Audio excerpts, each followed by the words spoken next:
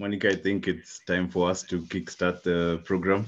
Uh, we are 50 participants, and I'm glad to see people from all over the world, even China. Karibu, uh, mabibi na mabwana, as we say in East Africa. Um, I'll let Monica take it from here. Okay, yeah. So I'd like to share the, the screen, Biko. Or you'll run it for me.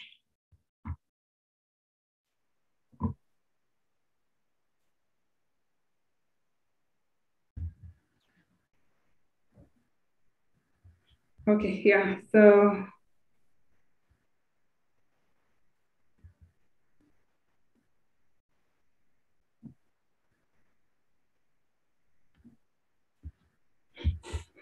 So welcome everybody. And um, this is the a pre-conference training or a pre-conference uh, workshop for the RIC 2021, that is uh, RCMRD International Conference. And we are glad to have you join us from wherever you're joining us from all over the world. And uh, us as East, uh, ESRI Eastern Africa, we are so glad to join uh, RCMRD in this uh, conference. But for this session, uh, we will be doing a pre-conference uh, a pre-conference session. So we are glad to welcome you and feel free to learn and interact in this session. So um, if you can take me to the next slide, please. Yeah, so uh, you are uh, joining us from different backgrounds, from different nationalities, different disciplines and interests, different organizations. I know we have uh, GIS users, but also we have uh, field uh, teachers, we have scientists from different sectors, we have people working in governments and also working in uh, NGOs world. We have uh, guys from different uh, organizations, from also other nationalities, from the government section, and also uh, for from business as well. We are welcoming you, and we know that today we will study together to create a, a, good uh, community for all of us. We thank you also for joining us uh, today to form a global community of GIS professionals, and we are sure that you will be able to benefit from this session. And you feel free to ask questions and type the same on the chat section. So the purpose of uh, this, uh, okay, we have different, uh, I have several team members joining with me today. And number one is uh, Sydney Nyongeza, who is uh, a solutions engineer representing the natural resources industry. And I also have Biko Olali, the industry manager at the utilities and telecoms uh, industry. And myself is Monica Monzia. I'm the industry lead uh, for water utilities at ESRI Eastern Africa. So today we have um, uh, a, a, a, small, um, okay, we have sessions and this is our, our program for the day. So we'll start by welcoming you. A welcome remark from ESRI Eastern Africa by Biko Olale. And then from there, we will uh, have Kenya Water Towers, which is one of our key customers, uh, showcasing uh, on integrated monitoring and uh, system for sustainable management of water towers in Kenya. From there, next will be complete GIS for water resources manager, management by ESRI Eastern Africa. And also we'll have um, another customer called CORDIO East Africa, showcasing on enhancing coastal and marine resilience. And this will be from Western India, uh, Indian Ocean. And then we will also have a question and answer session whereby you'll be free to, to ask uh, and also to type whatever you feel you need to, to know more or even uh, feel free to interact and even give uh, answers. And now from there, we'll have uh, closing rem remarks. So um, I welcome you once again and let Biko take over from here. Thank you. Yeah, thank you, Monica, for that introduction. I hope everyone is feeling warm wherever they are. In Nairobi, it's quite chilly this afternoon, so I hope uh, you guys are paying attention and you'll be able to keep up with this exciting program that we have for you. So without further ado, um, I'd just like to quickly get into the first part, which will be mainly introducing you to the work we are doing as Esri um, and how we've been able to support um, the global community of, of, of GIS experts uh, that we've seen. Um, so the work that we've seen happening around the world is quite extraordinary, um, both in breadth and uh, magnitude, because we've seen people from all over the world addressing virtually every big issue that our world is facing, from energy to environment to climate change to even modernizing cities um, now that we have to keep up with, with all the changes that are happening in our world. Um, and I will showcase some of these examples um, in the next slides in line with the theme of, of, of, of this conference.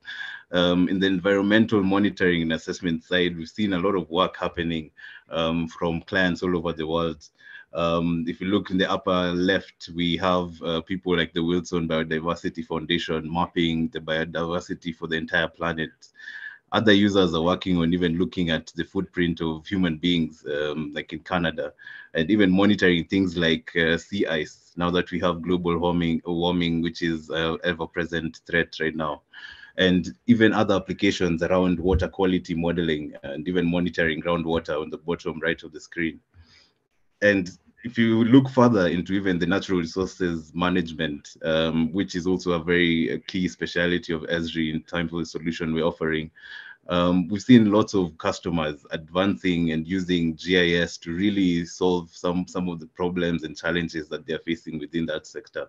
Uh, we have things like uh, assessing suitable farming patterns in Brazil, for example, in the top left. In forestry, we have seen um, this forestry organization modernizing. We have the likes of Kenya Forest Service, who recently won the Special Achievement in GIS Awards at Esri, who have really pioneered the solutions that they're adopting using GIS we have applications as well within the land information side because all this ties down to how do we um, make our earth more sustainable? How do we make sure that um, the solutions we're adopting help us achieve the sustainability that we want? And we've seen some of our users using gis to manage land information land parcels and um, our solutions come with these capabilities inherently embedded in them in uh, the water sector as well, we've seen lots of innovation uh, happening in the recent uh, past, and ArcGIS has really um, put a lot of uh, research and development investment in in this sector because uh, for water and water and uh, wastewater management agencies around the world, GIS is now a key pillar for things like asset management, where they're able to support service orders or manage inspections in ways that before were never thought possible uh, with the real-time uh, field to office workflows that are embedded within the ArcGIS platform. And the examples on the left is looking at the analytics that you can be able to derive from the from the system, where you're even to able to analyze where investments should be made within uh, a certain water network or a sewer network, uh, because you're able to analyze from a spatial perspective and see exactly where in your network, um, you know, based on the patterns and trends that you monitored, um, is really causing, you know, the, the, the most severe effects for, for the organization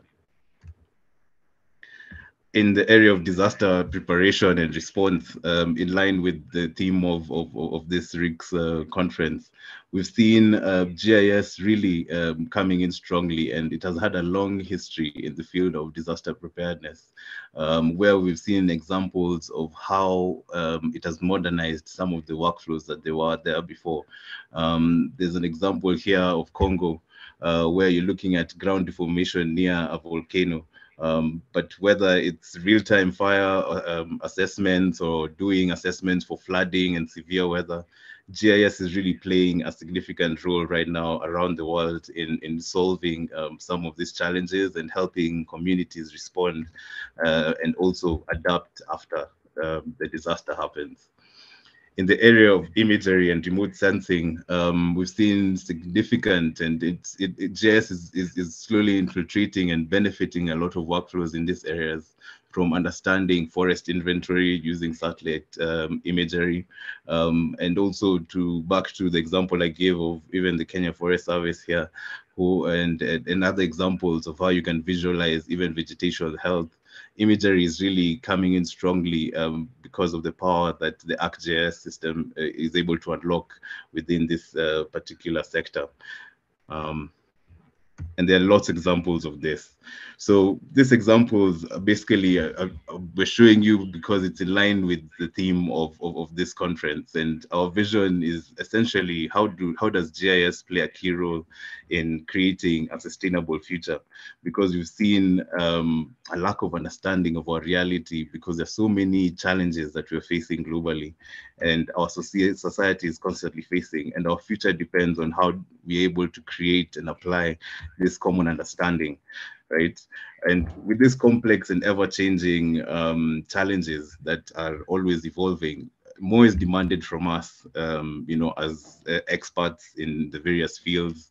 We, we see that GIS can help you even understand the world better for you to be able to respond accordingly and these challenges, as I've mentioned, they they range from you know forest fires that we're seeing happening now. We have the natural disasters, pandemics.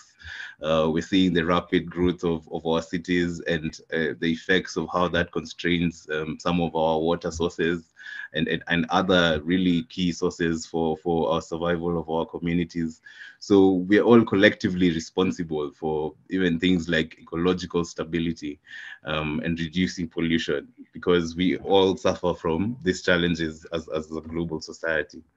So creating a sustainable future for us and as Esri, we see it as very possible because it dramatically um, requires a change of priorities to be able to understand how can we prioritize and apply some of the solutions we have to create this better future to create this you know more sustainable future. How do we scale back you know consumption? How do we restore some of the ecosystems that have been um, you know corrupted or create sustainable agriculture? All the other five themes of um, the rig conference are very much in line with what um, GIS and even Esri as a company is focusing on, which is just applying our best science, our best technology, and our best creative thinking um, to solve some of these problems um, using a geospatial platform like ArcGIS. So we see sustainability as requiring um, geography because geography brings everything together. You know, it provides a common language you know, a common approach for us to tackle some of these challenges. And sustainable sustainability requires that we see the world as one single ecosystem. Uh, and geography, as we know, is the science of our world. It provides the science and the language to support this effort.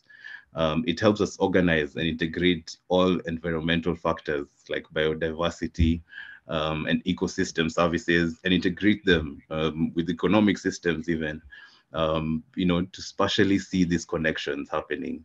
It allows us to integrate them with social factors, you know, which are a key contributor now that you have to factor in going forward and provides you with a framework for understanding and applying this knowledge.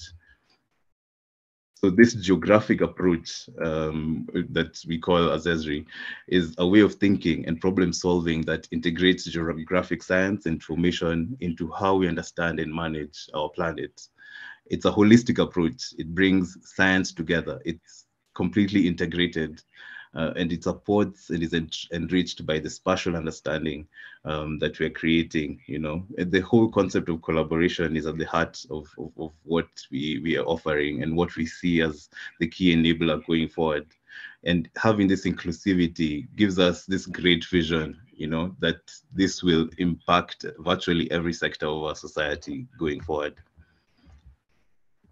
And we've seen the approach of integrating as, as, as a powerful methodology because it has resulted to various new capabilities from geoanalytics, um, you know, which is just deriving insights and understanding from uh, all this data that we have to geovisualizations, you know, which is a language through maps and visualization for communicating um, the content and the context of, of, of, you know, whatever is your area of interest.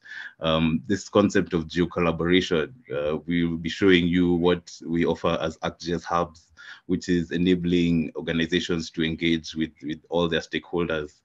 Um, we have concepts like geo-accounting, you know, which is being able to account for all the factors, you know, setting up balanced measures that are not only financial driven, you know, but also consider other factors.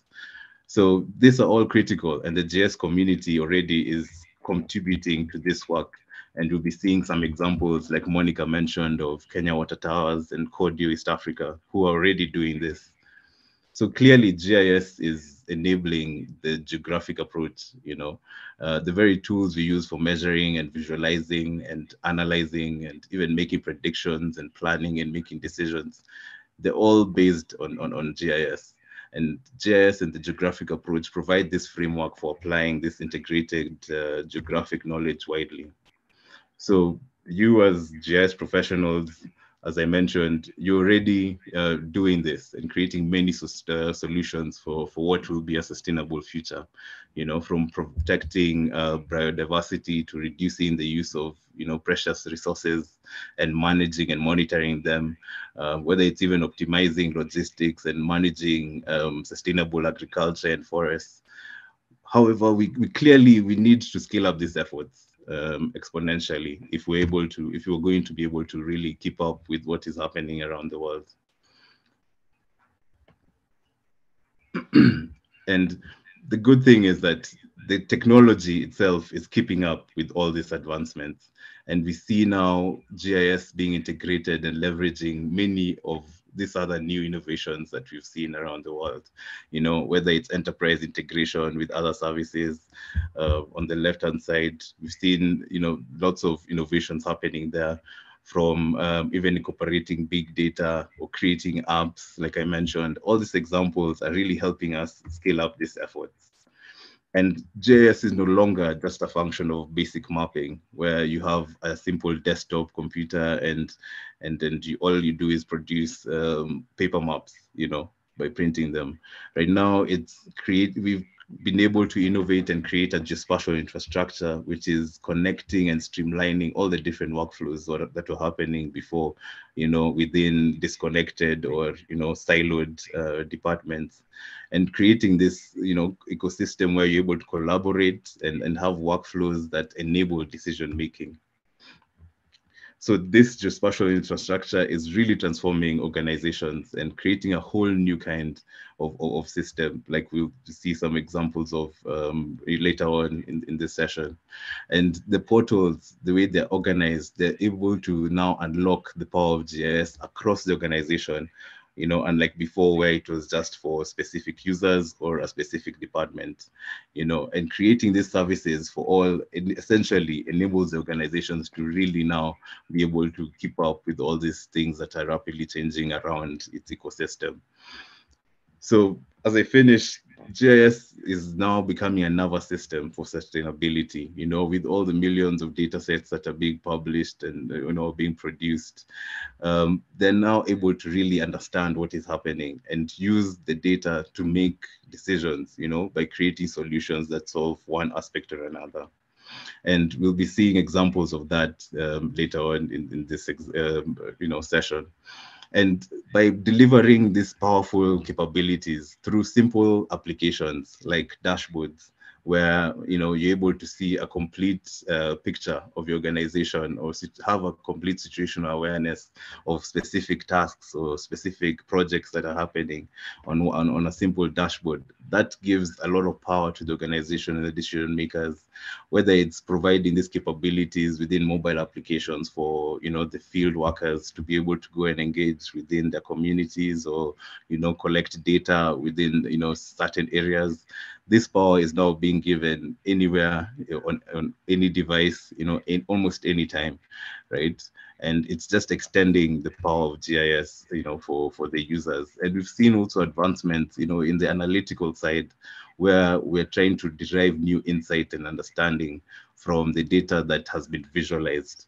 Um, and here, the capabilities are extended in ArcGIS using predictive models that you know are, are, built into the system, and you can be able to develop and extend, uh, whether it's looking at spatiotemporal um, data sets or and, and, analytics that come out of that, and even incorporating real-time data uh, from sensors. We're now able to create new insights and understanding from the data that was originally there. And in the area of uh, imagery and remote sensing, GIS has really enriched, you know, some of the workflows that were there before.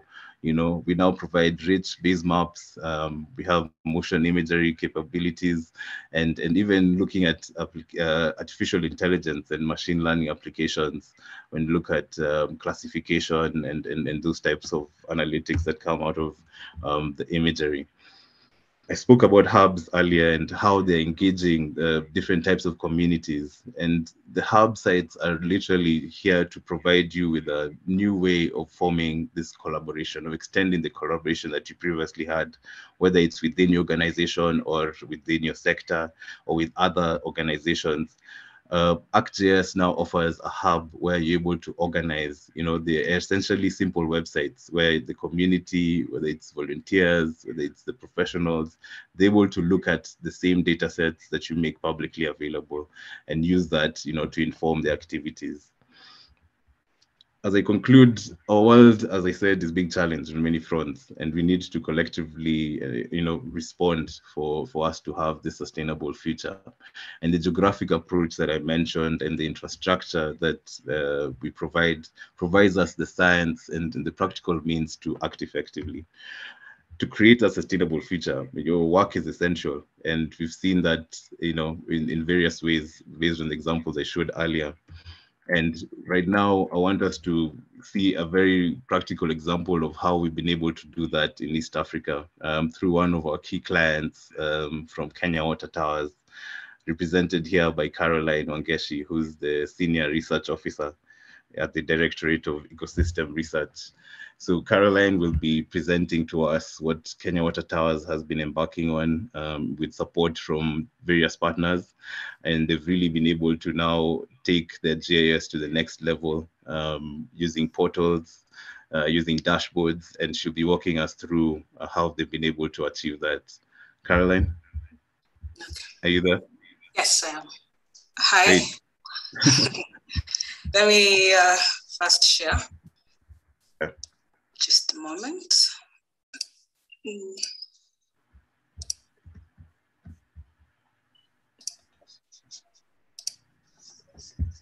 Uh,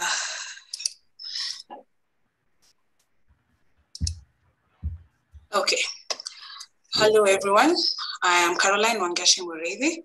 I'm from Kenya Water Towers Agency and directorate uh, known as Ecosystem Research Planning and Audit. I work there as a senior research officer under the GIS section. Uh, my presentation is, um, of course, just under Esri, and to and this is in line with how much and intensively we use their softwares and their solutions and products in support of our task at hand.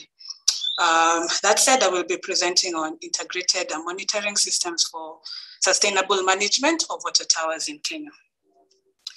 So just to start off, I'll start with explaining what Water Towers is. It's an upland area which comprises of uh, mountains, hills, and plateaus, and whose topology, morphology, geography, and type of soils and vegetation supports reception, retention, infiltration, percolation, and precipitation, and acts as the storage for, and acts as an underground um, recharger. This water is then released to springs, streams, um, uh, and rivers and swamps and lakes and oceans. Um, just excuse me one moment. Ah, it's okay. Then uh, next we go to the model that just demonstrates uh, what our water tower is. So we can see from the top left, we see where the headwaters is, where the recharge happens, where there's the precipitation, the rainfall, the snows, in any other form of precipitation that um, flows down and percolates into the soils, infiltrates and percolates to the soils. And also we have surface runoff, which flows to the lower lands where we have settlements, agriculture, and the urban settlers, and all the way to the ocean. So this, this is a model of what we term as a water tower. So Kenya has um, uh, has like a total of 88 water towers that we've identified as Kenya Water Towers Agency. Um, and with that, we have five main water towers, which is uh, which comprise of um, Cherangany Hills, Mount Elgon, Mount Kenya, Mau Forest Complex, uh, and this supply 75% of the water source, water surface resource that we use in the country. Um, we have 18 gazetted water towers, which are the green dots that you can see on the map. And further, we have 70 water towers that we are proposing for gazettement. Those are the red dots that you can see on the map. So now with these water towers, we, what, has, what is the importance? We have, they contribute a lot to our Big Four agenda.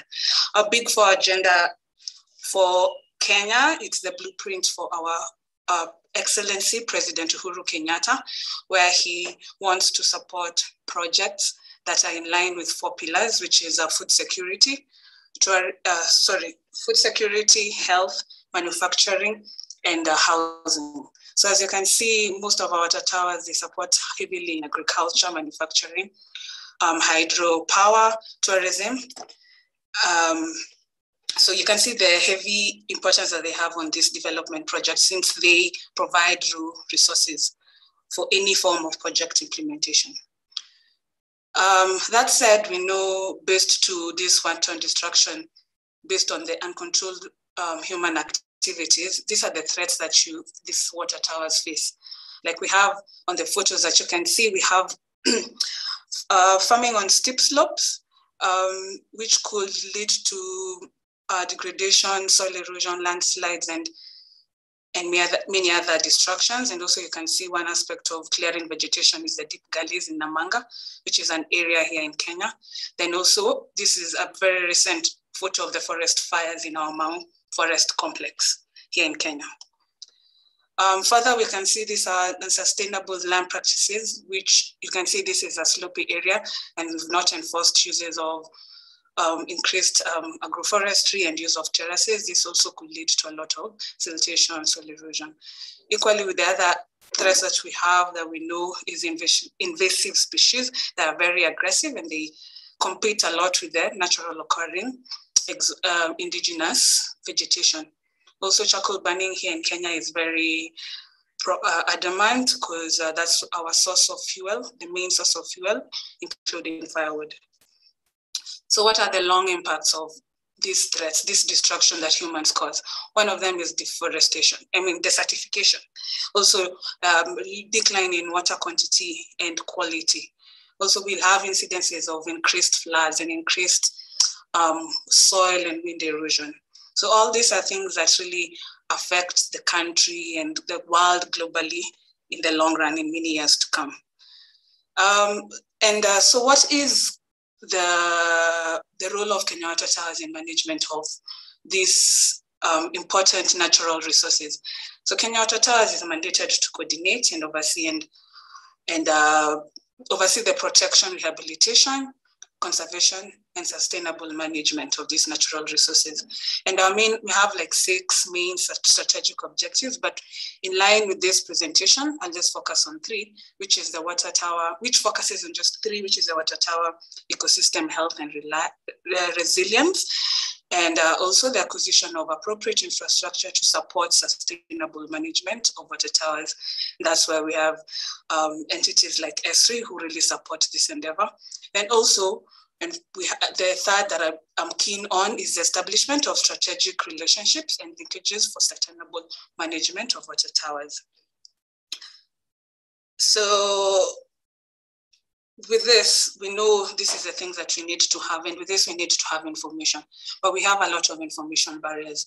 Why? Why do you have these information barriers?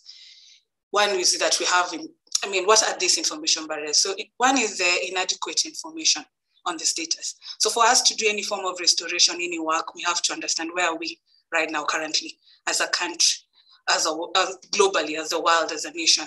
So also we have in Kenya, what we experience a lot is an uncoordinated approach. Like under the Ministry of Environment, we have many entities doing a certain specific task in the environment, in the ecosystem um, space, but at times we're a bit uncoordinated.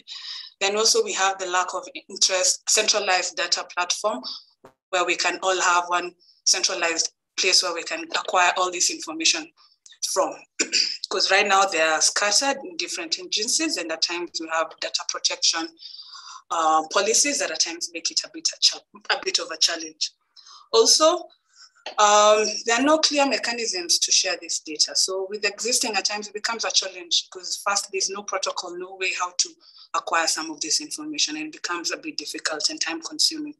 Also, we're limited to the capacity that we have in, in Kenya, and I'm so sure it's so globally, it's a, it's a situation that you'll find in some other countries that you don't have the capacity to monitor this, the status and the health of these water towers.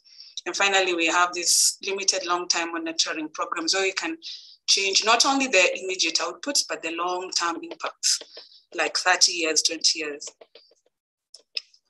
from now. So how do we use these um, GIS and remote sensing tools in Kenya Water Towers to help us in this maintenance and sustainable management and restoration of these water towers that are really going through a myriad of threats. So with this, I will also, um, in, I'll, I'll tie it in line with what we do as Kenya Water Towers, but and how we use the GIS and remote sensing. So the first one of the things that we normally do is research and monitoring, because like I've mentioned, we need this information. So with this research and monitoring, that means we're acquiring new information to know what is the current status. And with that, we develop metas. We develop our status report for each water tower. So for this each water tower, what is it that we do? And acquire or um, analyze under the status report. So in this status report, one, what we do, we do the mapping of land cover and land use trends. So with this, how do we go about it? We use uh, satellite imagery and we use Landsat. Landsat, we use it because of the, of the um, temporal resolution that it has. We also use because of its availability and it's, it's it's free literally. Sentinel, equally, we use it for the current so that it can give us the current status of how the water tower is, and we prefer it because it has a higher resolution. That said, we also do field work where we do ground truthing um, exercises to know, to actually do like an accuracy assessment of the desktop analysis that we do of the land cover, actually using um, random forest uh, method of classification. Then including then what else we actually analyze under the status report is the critical, sorry, is the biodiversity hotspot. With this is where now we work hand in hand with the National Museum of Kenya, who heavily have the expertise to um, check out the to understand a better understanding of the flora and fauna of our ecosystem.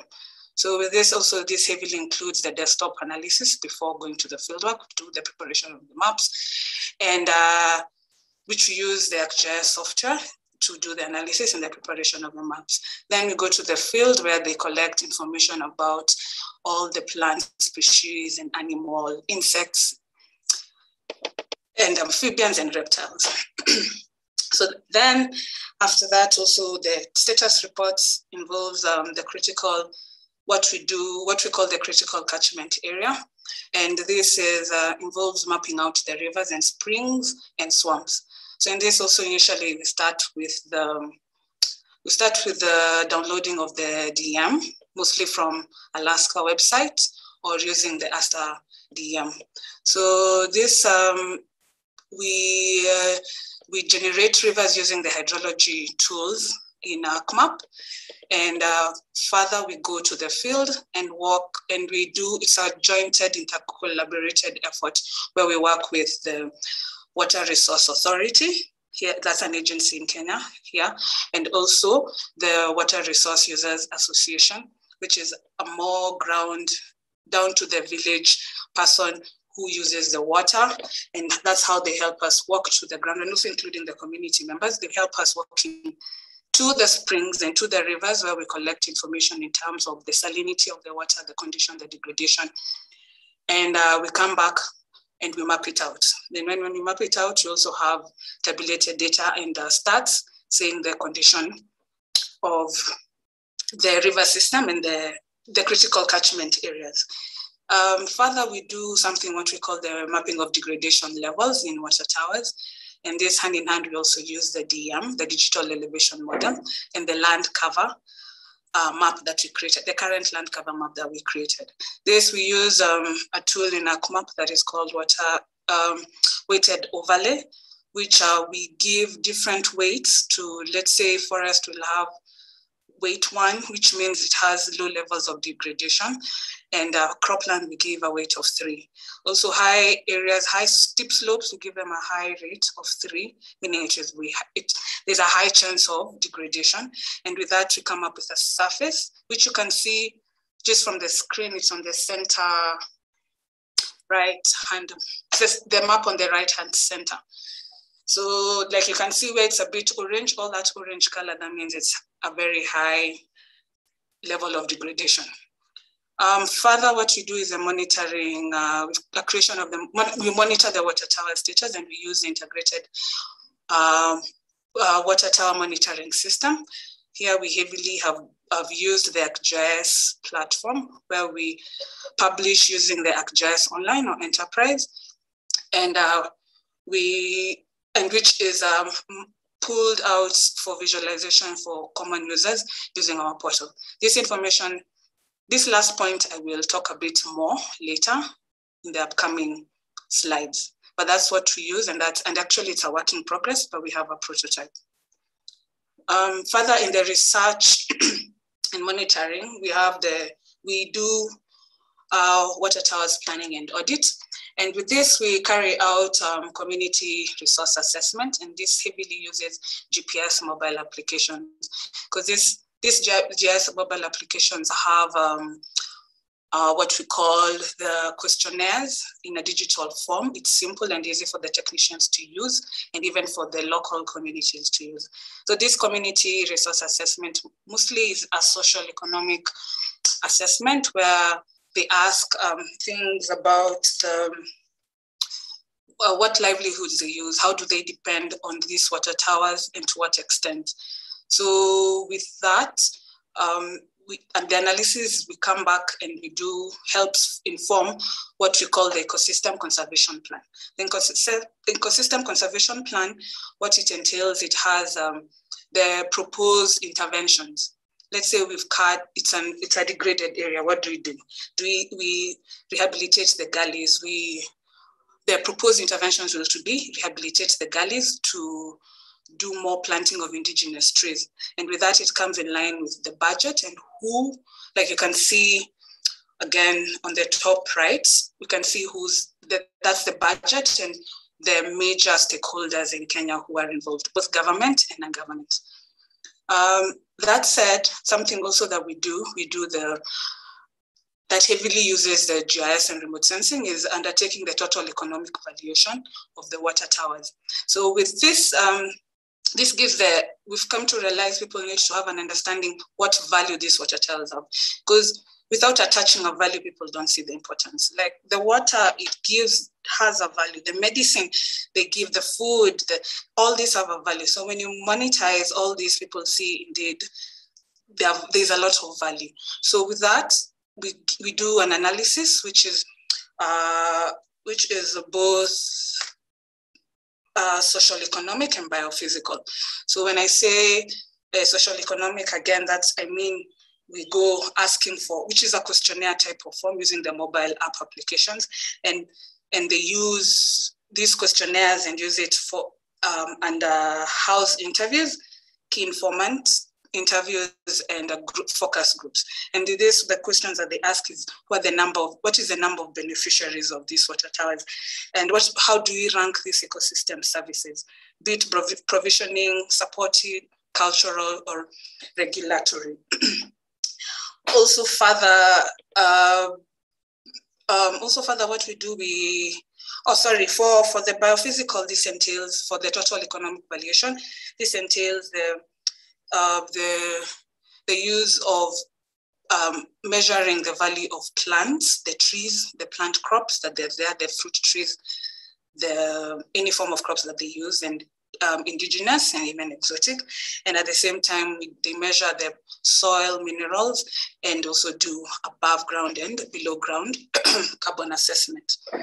Um, and so anyway, further, what we do also since we do rehabilitate the areas in conjunction with other agencies, we also audit tree seedlings in rehabilitated sites. And also this is informed by doing a lot of mapping and using the GIS application mobile apps to collect this information and create maps and statistical analysis and have a narration and a, and a conclusion of what is happening and the state of the water towers. So on the state of the rehabilitated trees, are they doing well? Are they have they died? Do we need to go back and replant? And what is the cause of them not surviving? So and lessons learned. So then further we do, we are actually in the process of um, developing a payment, a PES, which is a payment ecosystem service. This is how do how, how do the communities benefit from this, from sustaining and managing and having and conserving and protecting these water towers. So with that, there many forms of it and also involves a lot of social economic um, surveys and we also use heavily the GPS mobile applications. Uh, further, what we do, we protect and do surveillance of the water towers. And a good um, exercise that we do as Kenya Water Towers is the Mau joint. Mau is our forest, one of our major water towers here in Kenya. So the Mau Forest joint, the Mau Joint Forest Enforce, the Mau Joint Enforcement, uh, which is a collaborative um, uh, component where we have KWS rangers, county uh, rangers, KFS, and other entity that is under the Ministry of Environment, and they help a lot collect information. And we want to push it further to be near real time. But currently they have GPSs where they collect information in case there's a forest fire, in case they find somewhere people actually cutting trees.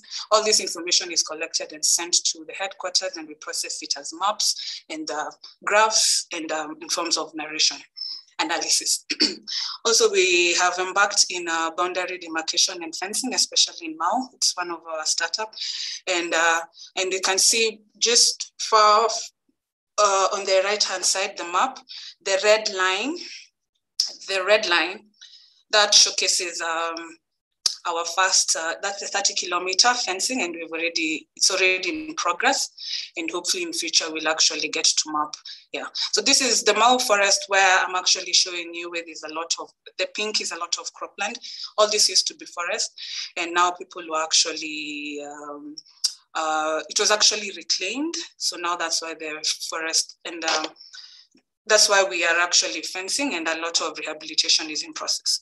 As you can see, far on the left, the rehabilitation, they like the orange line that's um, KEFRI, who's the Kenya Forest Research Institute here in Kenya. They were given the to be the task lead um, to do in 2019 to do the aerial surveying as part of using innovative measures to rehabilitate. That's more effective and fast. But that was their pilot the first pilot. So we had to see the results. All the other shades it's different entities that have taken. And uh, and again what you can see with the subdivision this is again a process that we did before rehabilitation process began. We subdivided the whole entire area into blocks of um, of 100 hectares, which will help in management and reallocation and also in monitoring. So with this, yeah, with this, any person who can can adopt a block and make sure they rehabilitate. And in this exercise, Kenya Water was the lead, but we were working hand in hand with. Yeah, the point again, all this is the coordinated, coordinating and integrative approach that we are enforcing since we are more of a coordinating and overseeing agency. So further, we also do the water, rehab, water towers rehabilitation, which you can see. We do tree planting, um, spring protection, gully rehabilitation. And with this, all we do at the same, we do mapping of springs, like I told you earlier. We also equally do mapping of the gullies, and from there they come up with interventions and propose interventions with a specialist on what to do and how to rehabilitate and how to monitor further. So that said, we have collected all this information as Kenya Water Towers. Also, we have other entities, KFS, KEFRI, KFS being the Kenya Forests Service. They're the ones who major most in conserving and protecting our forests. So we have all this information from different agencies and also from the NGOs. And we want to bring them all together so that we can have one pool integrated system where we can um, have all this information that can we can inform an evidence-based decision-making process in terms of restoration and managing. So that's why Kenya Water Towers came up with an integrated water towers management system. So with this, as you can see just from the from the model picture here, like I, I mentioned earlier, we use heavily a lot of satellite data, the DMs and the in the Landsats and the Sentinels to do a lot of analysis, land cover and hydrology and degradation. Further, we do a lot of field work that you see, we use the GPSs and they equally have mobile application forms that some are S3 and to help in analyzing and collecting information, which you can come back and analyze. Equally, down on the down part, you can see we have stakeholders. We are tapping into the stakeholder servers. And here we have we have a data protocol where for those who are on board, they've given us like a permission to what degree? Are they giving us raw data? Are they giving us um, already processed data? And to what degree can we share and give access to? But with that, we have a data protocol and where we can access and they're all processed and, uh, and they're pulled into the Kenya Tower server.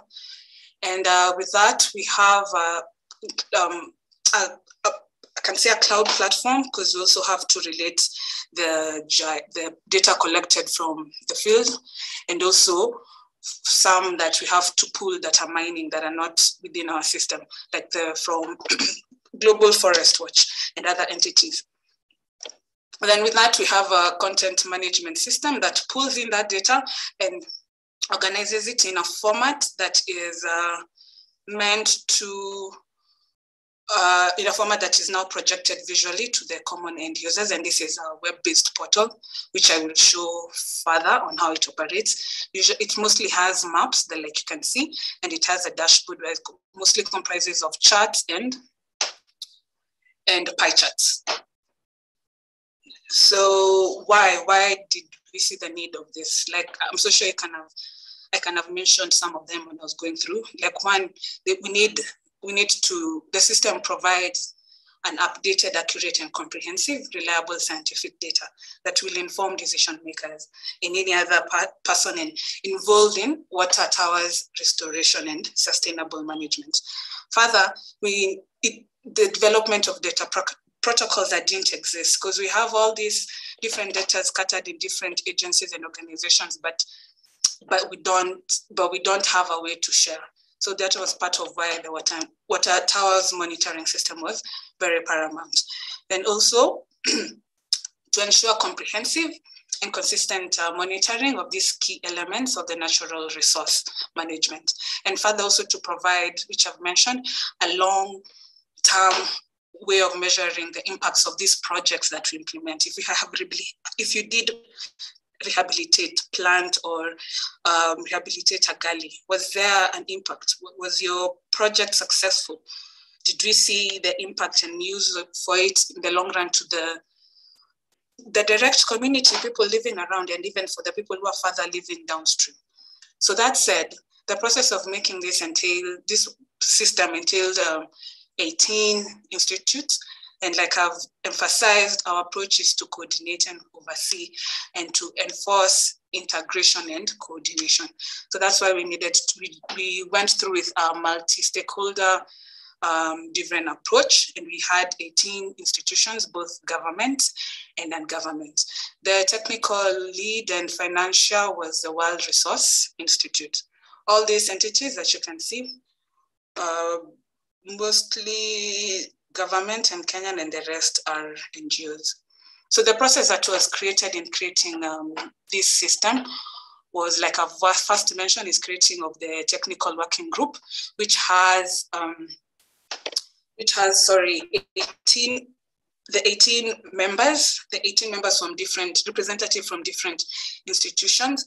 And uh, this technical working group, they had homework and they reviewed the best practices because technically we're not the first to do this. Are people who've done it, like example, Global Forest Watch under WRA, WRI, and and so they went aboard and they did their own research and reviewed what was best and how we can improve, what we can implement and improve. And further, this this entails now making of the monitoring framework. The monitoring framework, what it has is the objective, the goals, the key goals, which has three key goals. And uh, with these goals, how do you measure? So that's the identification of the indicators and the metrics. So the monitoring framework um, informs and guides the monitoring uh, system. So the what and the, the, what to measure and the how to measure, that's what the monitoring framework says. So after they, they, they developed a monitoring framework, the monitoring framework was actually validated. And further now came to stage two, which is implementation of the monitoring system. Here, the WRI being the technical World Research Institute being the technical lead and financial. Uh, we had a consultant come in board, come on board and they helped us develop the content management system, which used the Java and HTML programming language. And uh, that was the back end, um, the one that was now processing all the information that is coming from the geospatial data, which is processed from all the um, ArcGIS um, enterprises Uh, all the ArcGIS platforms from ArcMap to either online or enterprise. Then also from all this data coming from other agencies in form of dashboards. So presented out now to the portal using the, the charts and the graphs. The, the, yes, the charts and the graphs. So that said, now they had to review, the next step was to review this system and actually integrate the data. And the data that integrated was from two water towers in, from three water towers in Kenya. So one is the Eastern Mau uh, water tower, which is part of a forest blocking our Mau forest. Um, the main, one of the main, one of our main five water towers, which is the Mau forest complex. Then the second was the Makulinzawi water tower, which is in a county called Makueni here in Kenya. And the last was the Cherangani Hills, which traverses uh, four counties in Kenya. So that was the data integration that was used for the, for the first prototype. Then they reviewed the prototype and tested it. Then now come to stage three, they went to stakeholders validation where all these 18 agent institutions that were involved took part. Also, they went to the ground to different counties and involved different stakeholders and also the community, down to the ground of the community to, for them to validate this system and approve it. And now we're at stage four, where we need now to present it to the big policymakers, and we're still working on that. Then now the final stage is to implement the system. So like I've said, now the, but like what I've said initially was the the monitoring framework is more of a document that has a lot, it guides and uh, informs the, the water tower monitoring system. So all, it's just a document having, stating the goals, stating the indicators, the metrics and the criteria. So this is now what is, is implemented into the water tower, into the water tower monitoring system. The, this is just the front, the user graphic front, but as you can see, it's a whole system with servers and data collection and satellites and also information from other institutions. But this all information now is just um, uh, projected and visualized in this uh, in this monitoring in this portal, which we call the Kenya Water Towers Watch. Um, so like I've mentioned, we had uh, for the creation of this water tower monitoring system, we identified three goals, which you can see is improved productivity, and this focuses on the provisioning services. So yeah, the food, the water, the medicine. Then also we have the improved conservation of the ecosystem. So how, how are we going to improve the soil quality, the water quality, increase of biodiversity, the air quality, and now, again, what I've, I've really emphasized the integration. So with this, we need the enabling policies and institutional um, arrangements to help facilitate this um, coordinated approach. and uh, like you've heard, most of the indicators I'm talking about, the things that this monitoring system monitors or will help monitor. These are a few, like we have the water quantity, what we check and what can be measured is the groundwater levels, the rainfall amount. So in the long run, like 30 years from now, we want, if you are doing a good job, our water quantity, our rainfall will increase. When you go to number two at food, uh, food yield production, yes, we are hoping we'll have better yield because now we'll be doing um, sustainable farming practices. So this is um, what our, um, our, our integrated monitoring system looks like. So what I showed you earlier was the homepage, and you have a tab of maps, and you also have a tab of the dashboard. So when you click on the three, on one of the three, it will actually go through to the portal, but when you look at one of the three areas that we've assessed, these are the things that you see. Like we have the um, on the left side, we have the layers, and they can show you what layers you can see. You can see the overlays, the water tower layers. You can have the land cover, the climate information. And further, this is, this is what you can see. Like for this um, thematic map here, this is the population density that we've actually um, mined from uh, Kenya National Bureau of Statistics. And this is from Kenya Water Towers land cover change analysis between 1990 and 2016. The green shows what has remained intact as forest. The red shows what we've really destroyed to accommodate farming or settlement. So maybe I can click to the link just to hopefully then my net where I am, my internet is working, is fast enough because it has a lot of uh, heavy graphics. Anyway, as it opens, let me just continue.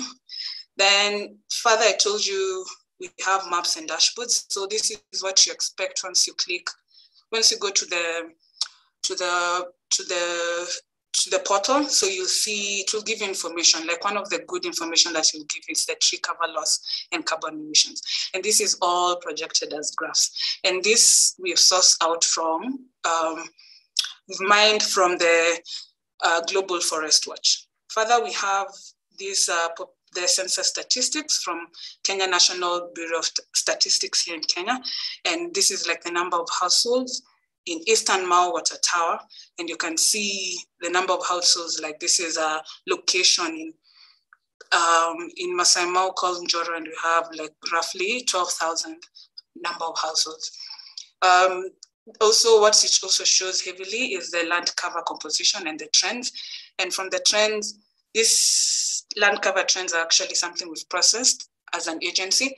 And here you can see the orange is the cropland and the green is the forest.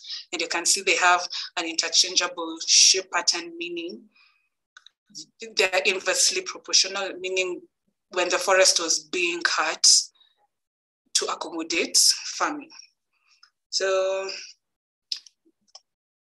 um, sorry, I will take you through the portal, but since my internet is a bit slow, let's just finish the presentation. Then now the key lessons from everything that we've learned from trying to implement this. So one, we've realized there's need for goodwill among institutions providing this data. And that's why we need, hence the emphasis of the integrated approach. And also we've realized we need to develop better algorithms to mine data from different um, sources that are already existing to also save on cost and money. There's no need of us to replicate. And that's why we need an uh, centralized uh, um, my, uh, centralized place of accessing data to also avoid duplication and save us a lot of um, costs in these um, endeavors of restoration. Then also we need, uh, we realize we need skilled personnel on data science and system development because some of these systems really, and that's why now where um, entities like Esri really have come and have really been helpful. Because also, like I've mentioned, we really want to upskill and go to the regions and have near real-time data collection. Um, further, um, yes, again, we need better mobile applications where we can do crowdsourcing, which again, now we same thing, we don't need to keep um, going ourselves to collect this data and some of it already exists or someone can already relay this information based on how we present it. Then also we need the data sharing guidelines protocols, which we have, but I know it's still a work in progress. And also we've realized we need a win-win strategy for a successful implementation of our integrated watering towers, water towers monitoring system. Yes, like I've said, we're still in the prototype and hopefully we get to get this to win-win strategy. So um, uh, just uh, a moment. And to go to our portal. All right. Uh, so hopefully, and I'm sorry in case my internet is not good, but uh, this is how the portal looks like. We have, okay, we have about, which is gives an explanation of what Kenya Water Towers is and our partners. Uh, kind of. so our partners, we have KEFRI, we have KFS, Kenya Forest Service, so um, Kenya Wildlife Service. All these are the 18 members that uh, were part and parcels of the implementation of the technical working group. So yeah, you can see these are the people that we heavily used because we really need to have a coordinated approach. And further, um, it gives a background of what Kenya Water Tower is all about and this platform is all about and uh, what we need to be doing and measuring in the long run so that we can have a better approach in monitoring our long-term um, efforts in this uh, sustainable management and restoration of water towers. Um, further, we have now what we have the critical goals, uh, which I mentioned the water tower emphasized on, just a moment.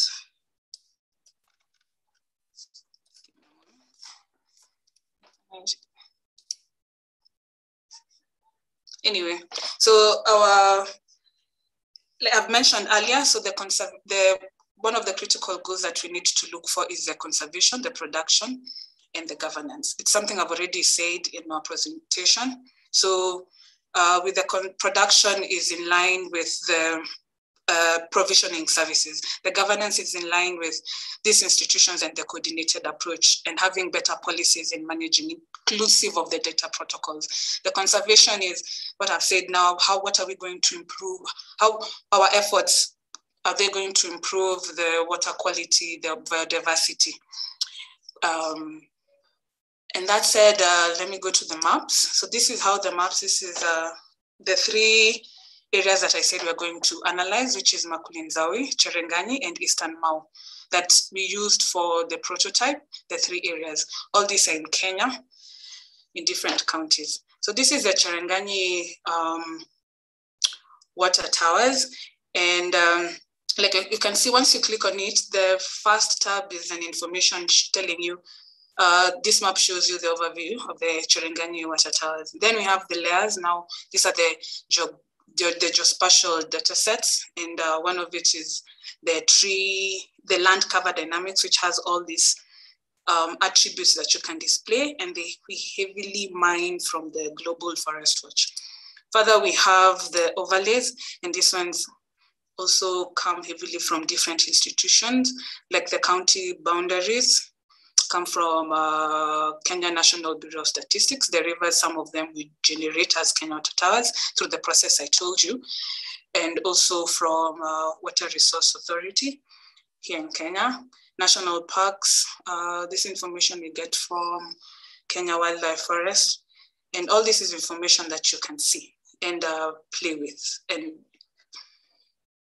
like, let me try. I don't know if it's been overlaid moment. Oh, the other thing that I forgot to tell you, um, the portal is actually very interactive. You can zoom in, zoom out, just like I've done, just to see where it is in relation to Kenya and other countries, the surrounding countries in East Africa. Uh, so with that, you can see I've activated the county's boundary. And um, yeah, like you can see, when I select can, uh, anyway. So you can see, yeah, when I select, gives you here the information of what county, and you can see Cherangani falls under West Pokot County. Yeah, so you'll forgive me a bit, my internet is slow. So I may be talking too fast for my slow internet, but I'll try. I'll try and slow me down. Uh, so that said, let me go back to the layers. Uh, what else that we can see is the, the land cover, uh, sorry, the water towers um, layers. When we say the water towers layers, these are layers that uh, Kenya Water Towers have actually generated. So these are the sub basins. And all this layer, I think you can, when you move the tab towards on my left side, I'm so sure you can see the cursor. So towards on my left side, these are tabs that you can make them uh, visible. When you move to the left, you make them not visible, they're not visible. And when you move all the way to the right, they activate them. So the springs, I'm so sure we had some few springs on the lower side. Just a moment.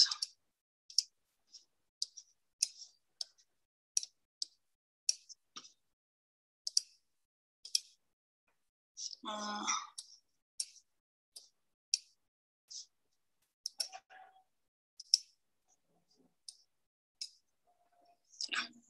the blue dots, like I mentioned, we usually go to the field and these are uh, actual points that the technical team for Kenya Water Towers walked to and collected information of this using the GPS and a questionnaire where you're filling information about it. If the water is saline, does it have an odor? Is it brown? Is it is the area is the catchment um, uh, uh, well conserved or not? Is it fenced? What are the uh, the interventions that you propose? Do you need it to be to plant more trees, bamboo? Do you need to fence? Do you need to put an intake for the communities to use to avoid contaminating around the the, the springs? So when you go here to the springs to make to deactivate them, the blue dots you can see that is clearly um, evident that that tab works. Uh, then, so with other layers, I will not go through all of them, but I'm just going to show you some of them. Like this land cover actually also have been heavily, heavily borrowed from, mined from the Global Forest Watch. So you can see the intact forest, you can see the uh, primary forest, you can see the above ground land cover based on the Global Forest Watch and the tree cover. So all this is information that you can see and further you can, this tab, once you click on something, it can give you, let me try and actually click on a spring. I don't know if it will come. Just a moment. Let me deactivate the layers. Uh,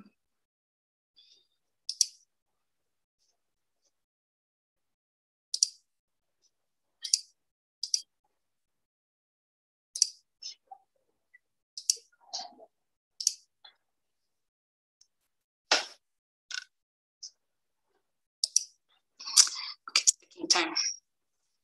So anyway, it's not, uh, it's taking time, maybe because of my internet. In a further, you can actually do analysis. Your small analysis, we have an extra tab. And on that, you can select what kind of analysis that you want to do. Maybe be, uh, maybe say land cover composition. It can allow you, you can select a smaller area using this tab on your right hand side. And actually you start drawing and you select an area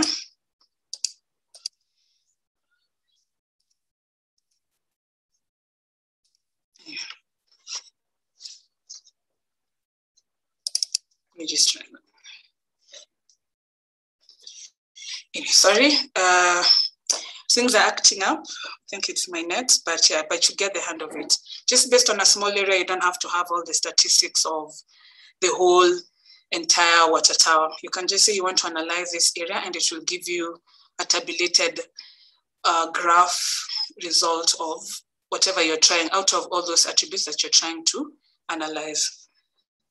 Um, then we can further go to the dashboards, which equally we just had three water towers, but we hope in the future to build. So we have the, you can try the Cherangani dashboard since that's the one we've been looking at. So the, this is everything that I was just saying. You can see just based on this, it allows you to have to analyze the annual tree cover loss of Cherangani. Equally, it can give you the carbon emission of, from tree loss cover in these Cherangani water towers. Further, it can give you the water towers population statistics, the census, which we also have the population density, including the number of households. Further, also it showcases the uh, land cover composition, the quantities, and um, also the graphical representation so that you can see the pattern and trends. So that said, I think that's all that I can uh, present right now since my net is not behaving. But if it gets better, maybe we can get back to it. So, Biko, thank you for listening. Thank you. Thank you so much, Caroline. I believe everyone really enjoyed that presentation. I can see from the chat we've gotten a lot of feedback. Um, before I go to the questions, uh, I just like to remind our audience that Caroline, you know, is a senior specialist with over 10 years of, experience in this field. So we're very lucky to have you taking us through this session. Um, and I can see a lot of people in the chat are thanking you for the great presentation. But we have one question uh, before I let you go from uh, Mary. Um, Mary is saying, thank you for the presentation. Are there any transboundary water towers if so, how are you coordinating with other countries as you implement the activities? Uh, and what sort of arrangements or agreements are in place? And who funds that? That's from Mary.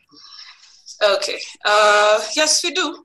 Like one of them is uh, part of it is at Kilimanjaro because most of the waters it's in Tanzania, which is our yeah. neighboring country uh, in the south. And uh, yeah, that's a challenge. And also we have uh, Mount Elgon, which we share a lot with uh, Uganda.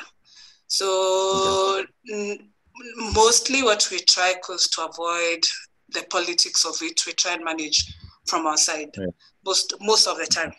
But if there's need, we have to go through the whole protocol, which involves the policymakers and that's how we have to do a very formal way approach of it. And most of the time, most of our funding we do is government, but heavily, like you can see, this one was funded by World Resource Institute. So okay. yeah, so mostly it's, it's it's it's government plus any person who's willing, and most of the times we try and um, also sell proposals for people to come and help us because we also try and it's co- it's collaborative because remember even when we're doing this we have to work with because if it's remember if it's uh, Mount Elgon Mount Elgon has the mm. national park at the top of the moorland then at the yeah.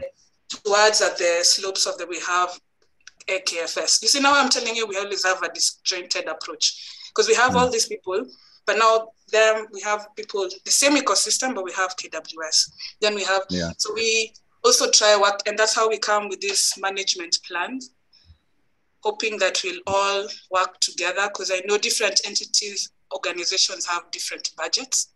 So, but yeah. when we come with one management plan, it will help us always have this coordinated approach, and we always try and involve them. Even when we go, okay. we use the county, we use the chiefs, we use anyone who's involved, NEMA, KEF, that's, but yeah, in terms of funding, uh, I can't really say because at times it's government, at times it's non-government. Okay. Yeah. yeah, I think Mary, I hope she's answered, but she's also asking if you can, is the link publicly available? Um, can we access it yet? No, not yet. Okay. For now, because no, yeah. for now. yeah. Okay. For now, because uh, yeah, we need it needs to be officiated by the policymakers, the CS, and yeah, but yeah, but the members who are the 18, mm. Mm. them since they're part of it, they can use it and access it. But yeah, okay. we, we, we soon, actually it's because of COVID, it has delayed a lot of things, but we really, there mm. was a, there's meant to be a launch. And once the launch is there, it's accessible on our website and other and all our partners. we, we wish you all the best. I hope that launch uh, you'll invite some of the people who've attended here to also celebrate with you. Definitely. they've really enjoyed the solution. Uh, one last question before I let you go, Caroline. Uh, we have a question from Taita Taveta University, uh, Nahashon uh, who's one of our ambassadors. Nashon, pleasure to have you here. Uh, he's asking, since the tree type is important in terms of ecology, um, conservation, and carbon sequestration, do you um, have a way of discre discriminating the tree cover types from the remote sensing technology? I hope that made sense. uh. Yes, but not very yeah. accurate. So far, mm. so far we've used just the traditional um, land cover assessment using random forest, which is a bit more advanced to the traditional. So at least we try. We try, we do like the times we've tried and pick pine, cypress in our forest in Kaptagat. Uh, it's not very accurate, but we try. And also we try and differentiate from the indigenous, but it's not too accurate. But what we want to try is go through the use of LiDAR system. LiDAR system, at least you can do individual tree mapping. So maybe it will give a, a better way of an additional added value to separating and analyzing trees. Yeah, but we've tried. It works, but it's not 100%. Better than nothing, right? yes, it's better than nothing. At least it helps yeah. with having an okay. idea of what is there. Yeah. Thank you. Thank you, Caroline. I think we've all enjoyed and learned a lot uh, from your session. Um, I know the audience is clapping wherever they are. Uh, stick around. I know there'll be more questions on the chat. Uh, Monica is taking note of that. Uh, but we thank you for giving us this time, Caroline. Uh, thank you for the kind words, all of you. Okay. All right. Um, so let's switch things up. Uh, we're going back to our presentation. Um, we have a technical session now from Esri Africa. Um, I'll be introducing um, you to a few concepts. Uh, I know um, through the presentation that Caroline offered, you're hearing different components of, of, of our system. Uh, but I'd just like to make sure that we're all on the same page and really bring you up to speed with what Esri is doing and how we are creating and you know continuously improving on the technology that is helping serve our users from both the products um, to even the education part of things in line with our vision um, that I spoke about um, in, in, the, in the first session. So um, as Esri, we have focused on this comprehensive geospatial platform that supports multiple com communities.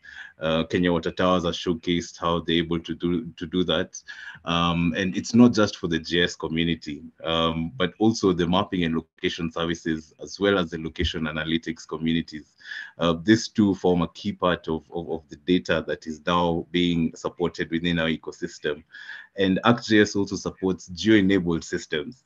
Um, these are specialized products that use components of GIS technology for focused, uh, for more focused workflows. Uh, and all of this is done in an open and developer-friendly environment with software as a service um, and even installable software. Uh, and most re recently, we've now launched a new platform as a service um, for the developer community. And ArcGIS supports three fundamental systems um, we call them fundamental systems because essentially this is what is at the heart of, of, of uh, the geospatial infrastructure that I introduced to introduced you to earlier on in the session, uh, where we have a system of record um, which keeps all the transactional data and a system of insight, um, which now um, is able to really unlock the new understanding and the new uh, insights that you can unlock from, from, from the data. And we deliver it through systems of engagement, um, through applications and maps that connect people to the organization's work and help them communicate and share that information. Um, and we've seen that ArcGIS is an integrated system uh, that brings many components together and has been engineered to work as a single system supporting many kinds of applications and, and, and people. Uh, a good example we've seen is now the Kenya Water Towers Watch, and we're looking at another system um, later on in the program. And as a technology, it is what is enabling and fueling this geospatial infrastructure pattern. ArcGIS as, uh, as the users of ArcGIS have really leveraged um, these capabilities that it offer. And now with cloud deployments, that um, capability is now fully scalable, uh, depending on the cloud um, you know, provider that it is installed on. Um, they are extending their system and strengthening their capabilities by deploying in the cloud like ArcGIS Enterprise, but also leveraging the software as a service resources from the cloud like content and analytics and even imagery, uh, which we'll really touch upon uh, when we go to the next sections. And what Esri has done is to ensure that ArcGIS remains open and interoperable. Uh, we support and leverage multiple initiatives to make this happen, you know, such as the standards that have been set in place from OGC, uh, ISO, and others. ArcGIS is really designed as an open architecture with open APIs and open data so that it can help our users integrate their systems into a broader frame of the other IT systems that they may uh, be having in place. And in the sector for water, we've really seen now ArcGIS playing a huge role to enabling what we call the intelligent water system, which is now able to support the GIS all the way from the source of water um, at the top left, you know, to how the water is produced and treated, you know, how the stormwater is also collected. All these networks are now able to be modeled within ArcGIS you know, and this really provides uh, communities with a new way of, of really understanding, uh, you know, how to manage their water resources better. And not only that, we have constantly been improving and advancing the ArcGIS uh, capabilities with lots of new innovations and specialized applications um, that we'll cover in the next few slides.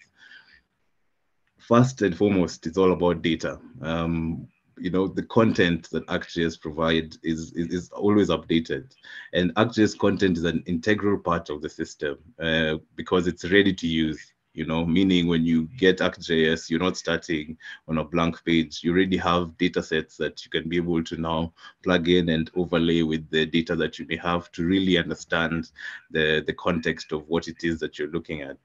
You know, we have thousands of layers, including base maps and imagery and more, um, you know, that cover the earth. The content um, is publicly available, um, you know, and it's from public sources and it's curated by our Esri experts and made very available so that you can access and integrate into your own work. And this list on the right here shows some of the new initiatives that we've been working on, you know, with the uh, different uh, agencies like NGDA. Uh, we have demographics data globally that are now being updated um, that you may find useful and apply for your own work. What I'm really excited about is the new high resolution global land cover that was recently announced by Esri. Um, you know, one part this content is is is a particular interest because this high resolution global cover dataset is provided by Sentinel-2 satellite, you know, and is a consistent map of land cover of the entire globe based on the most current satellite information. And I know some of you might might see this useful for your areas, um, you know, specialization. But this now open data is available to you as services or as downloads. And we built this map over the past several years in collaboration with the National Geographic Society um, and the likes of Microsoft and uh, other partners as well. In the area of uh, desktop mapping, uh, which you know some call traditional GIS, we've been able to pioneer the next level of, of desktop um, software called ArcGIS Pro, uh, which now is at the heart of, of, of, our of our solutions. And we've certainly achieved, you know, the, the parity that was there with ArcMap, you know, which a, a lot more people are familiar with. And we've introduced new tools for advancing um, cartographic science and we've also made enhancements um, you know based on the requests that we've gotten from our users and you know some of the performance capabilities that they had requesting for all this has been you know upgraded in, in the new offerings of ArcGIS Pro that you know you may find very useful for for some of your work and not only that we've even uh, pioneered and really gone ahead to invest in the areas of interactive web mapping um, where we made lots of improvements um, the example on the upper left is illustrates, uh, you know, this concept with data-driven exploration of maps, right? Uh, where now you're really able to see more from a map than before. Um, and this dynamically, it, it, just shifts completely how you're able to explore patterns from a map you know, and this idea of interactive environment really brings home some of the areas of interest that you might be looking at when you're doing your analysis or, or some of the work that you may be doing. There's instant apps also um, have been introduced um, within the ArcGIS system because they quickly transform any 2D or 3D map into an application that provides your audience with an intuitive experience to interact with your maps um, and data. So, you know, this is a new way of delivering, you know, some of the maps that you are delivering, but now you improve upon them and even uh, enables your users to have 3D uh, understanding. And we currently support, you know, more than a dozen of these applications with more coming. Um, and these are configurable, configurable apps that all you do is just customize towards meeting your specific needs dashboards have become almost an essential element of um, any GIS. And most organizations right now are seeing them, you know, providing dynamic and real-time visual reporting about virtually any subject. And dashboards have been embraced by our users to be able to provide at a glance information, um, like you know you saw from Kenya Water Towers. And we're working on adding, you know, more functionalities to the dashboards, uh, you know, to include things like tables and the ability to uh, natively implement that on even mobile devices and, and have that, you know, really, um, you know, scale um, as, as the organization scales its data sets as well. So this means that people will be able to look at their favorite dashboards anywhere, anytime, and, and on any, any device another powerful tool that uh, the ArcGIS system offers is story maps, you know, which changes how you're able to, you know, tell stories or report or, you know, just publish your data to your communities and it continues to be very popular within our community and they're opening up geographic storytelling for everyone else you know everybody has a story and more and more people are telling their stories story maps has really shown uh, why maps are important you know to give real context to you know whatever topic they're covering um, and there's a new introduction of a user type on ArcGIS just for storytelling um, and this user type has opened up the storytelling in an affordable way to entire enterprises. And we're going to continue on that journey of making this more available and easier to be used by everyone. And uh, when we look at uh, our work in the interactive visual analytics um, and how we've been able to capture this and deliver it through a product we call ArcGIS Insights, it's very easy to learn. And this tool completely changes um, how you think about uh, business intelligence or BI, because it allows for people to access lots of different data around the organization and perform exploratory, exploratory uh, visual analytics and generate interactive reports. These tools are rapidly expanding and empowering spatial and, and, and business analytics within organizations. And, and this also extends towards data science and spatial analysis. ArcGIS right now is delivering these capabilities because it's at the heart of soul of what most GIS professionals do. They're about solving problems and advancing science. And, and this year we've even added new tools and improved uh, the existing ones. Uh, and on the right, it shows some of the recent improvements that you can see uh, within the platform and also explore um, some of the new tools for artificial intelligence and machine learning um, are really now, you know, being delivered in a way that's very easy for, for our users to, to unlock that capability. When you look at imagery and remote sensing as well, um, the innovations there now have been able to allow, you know, for ArcGIS to provide the key capabilities um, to enable complete workflow, workflows for gaining insights from imagery you know, the management of the content to make it accessible. Imagery mapping, you know, is turning GIS ready products and analyzing them to extract information uh, and visualize that information um, in ways that now have become even easier than before, right? the uh, the list that, that, you can look at on each of these sections uh, represent some of the work that can be done, you know, in support of these capabilities. Um, and next, I'll be talking about uh, image hosting, which means that we can now load our imagery onto ArcGIS Online and even host it in a software as a service environment.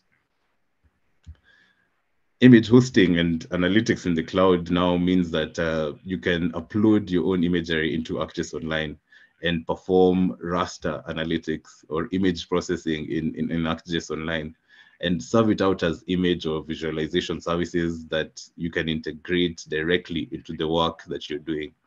This enables massive, massive, um, you know, image processing capabilities and raster analytics in the cloud. And you'll see that now organizations are able to embrace, you know, and enable this massive image processing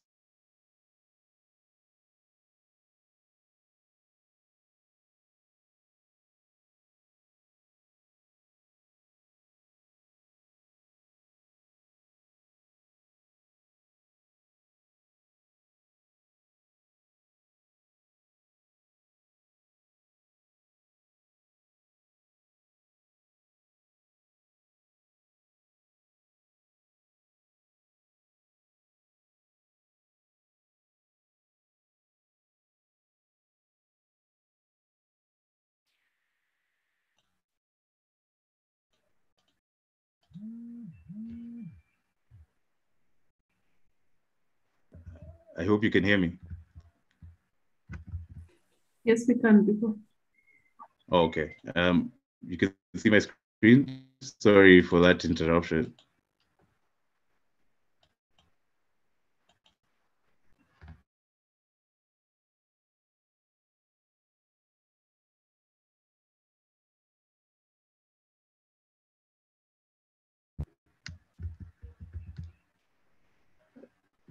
Can you confirm if you can see my screen? Yes, we can. Okay.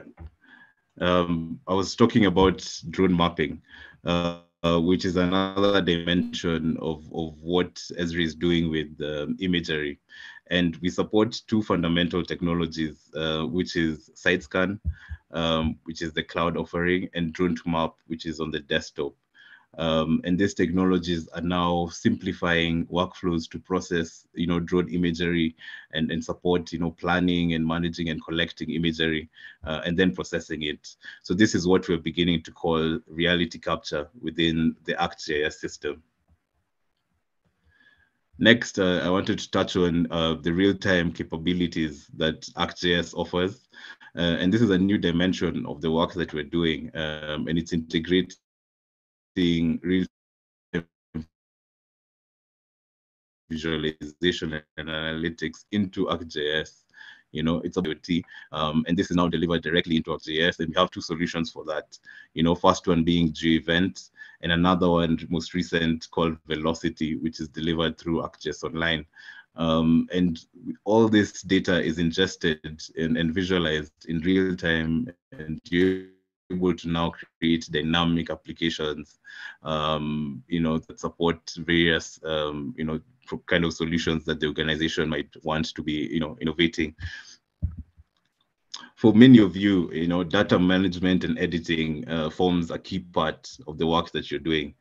Um, here, uh, our activities include continuing to advance the tools, workflows, and data models, and to integrate them with all the leading data management technologies, in, whether it's in the cloud or on premise. You know, looking towards the future, we'll be integrating ArcGIS with the cloud data warehouses to enrich and do, you know, things like big data analysis and other types of operations. So we're continuing to support, you know, and advance industry data models. Um, we have one for utilities, which is called the utility network model, um, that has simplified um, a lot of the work for electric and communications and water and gas companies. And we've seen some of those models being adopted within the region. Um, and these improvements also go to even towards the geodatabases, um, you know, where we've seen improvements in performance, um, in the attribute rules, um, and all this is geared towards improving the workflows, um, you know, for our users and advancing the, the tools that we offer them in the area of um, field operations and data collection, uh, Caroline touched on a bit on how they're able to, you know, utilize some of our field applications. And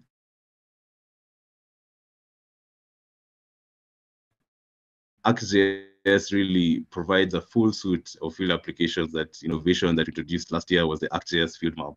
uh, field maps uh, application that brought together the capabilities of many of the individual uh, products that we used to have before uh, that some of you might be familiar with, uh, but now puts it in one application for collecting data, updating data in the fields, tracking mobile workers, and being able to access service-based uh, visualizations.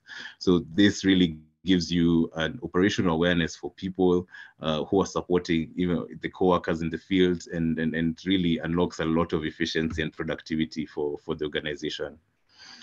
And lastly, uh, one of our recent uh, developments, like I mentioned, was delivering uh, ArcGIS through a platform as a service, uh, where we have the ArcGIS platform, you know, and this was released early in this year, and it's delivered as platform as a service uh, for the developer community, for them to really access Esri's location services using their APIs of choice, um, including open source APIs and it allows developers to create applications and extend the capabilities of ArcGIS, um, you know, through APIs and SDKs.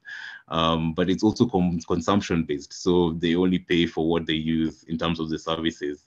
Uh, so ArcGIS platform is really geared towards, you know, embedding these location services into enterprise systems.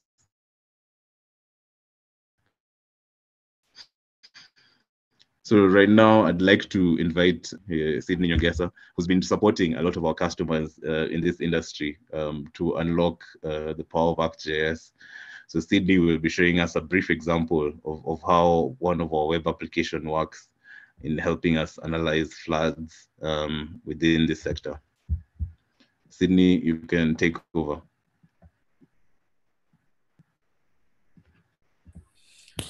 Uh, thank you, Biko. Thank you for that uh, nice presentation.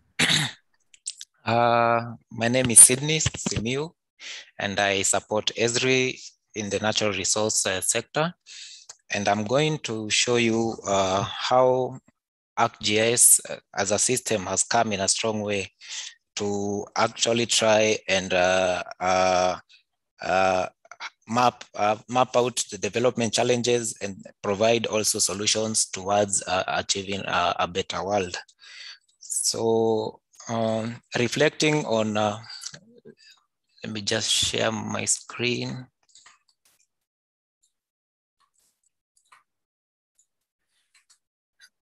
I hope that's visible. So uh, reflecting on uh, on our theme, which is uh, reflecting on resilience, specifically on how to map uh, development challenges and also solutions for a better world. Uh, Esri has, uh, has, uh, has come in a strong way uh, to actually promote mapping that promotes that actually uh, improves understanding of where where actually uh, what is where how much is uh, involved and what is at stake in actually making it possible to unlock uh, information about any changes in the system and uh, possible impact scenarios brought about these system changes. So for my demonstration, I'm actually going to show you the solutions that uh, Esri uh, has come up with uh, to actually enable us uh, uh, solve the solutions that solve the problems that uh, impact uh, caused by by floods. Uh,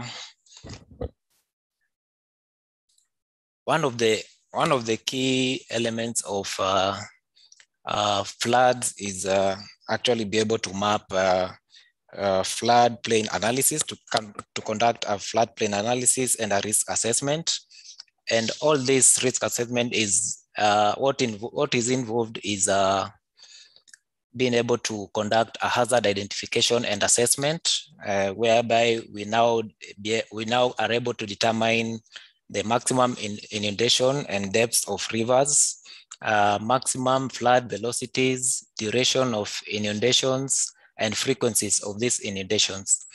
Also, uh, Another aspect to flood management is be able to conduct a vulnerability assessment and determine uh, what, what uh, facilities, what uh, uh population is actually at risk of being affected by these uh, floods.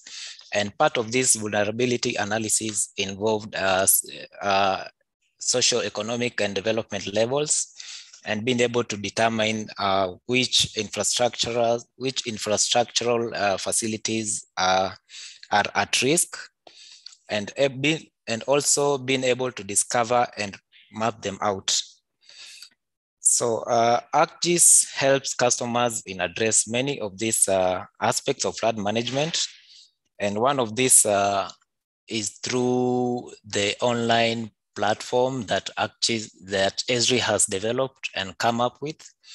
Uh, this now uh, is able to harness, uh, to be able to bring up, to collect and uh, aggregate all data from remote sensing uh, sources, uh, spatial data and attribute data into one into one database as a system of record and being able to have a central place, place whereby you can now be able to come up with insights on uh, how to tackle the, how to, you can actually conduct these uh, assessments.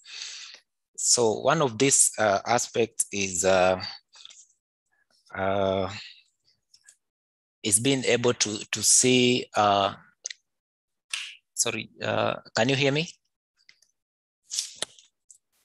Am yes, I am I audible? Okay. Yes, you can. Okay. Uh, one of these uh, aspects involved uh, collecting data and and uh, Esri has developed some of these data that are that some of these application that enable us uh, and also the customers as well to be able to go to the field and collect this data. For instance, you need to to map out uh, maybe the damage assessment and being able to conduct uh, to determine uh, the depths of these uh, flood plains. So one of those apps is uh, is the survey, is the Survey123 apps whereby you're able to conduct uh, to develop uh, survey forms and be able to actually conduct the social, the vulnerability analysis and sorry, and being able to carry out these surveys, for instance, in the in the population that has been affected, you're able to map out and determine what what social economic aspect has uh, what impact do they have uh, from this from these floods. Uh, another thing, uh, if I could uh, probably go to the next slide, the next slide is to show you the various uh, products that you are able to develop from the ArcGIS system, uh, whether it's the flood impact analysis, uh, you are able to develop apps that are able to actually visualize, uh, for instance, uh, these uh, impacts and also determine, be able to design effect and implement effective solutions. Over to the next slide. I'm going to show you some of these products that uh, Esri has developed. If I could just stop this and share. Let me just share another slide.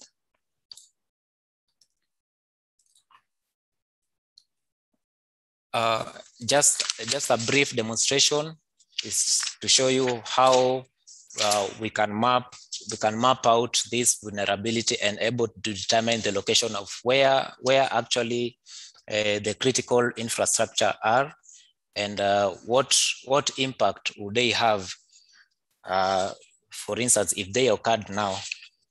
So you, using ArcGIS system to manage flood, flood planning, response and mitigation allows for easy visualization at every level uh, of the planning stage and also allow every member of an organization or local partners access information they need to actually make uh, effective decision.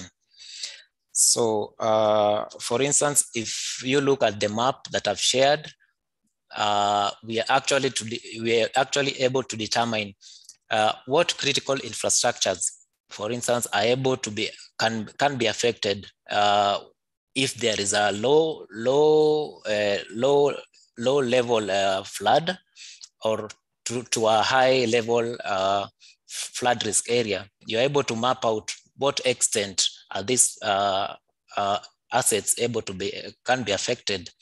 So for instance, here we have a train station as a critical public infrastructure, and you're able to locate where each, each uh, infrastructure is located and at what, at what extent will these floods actually affect this uh, type of infrastructure.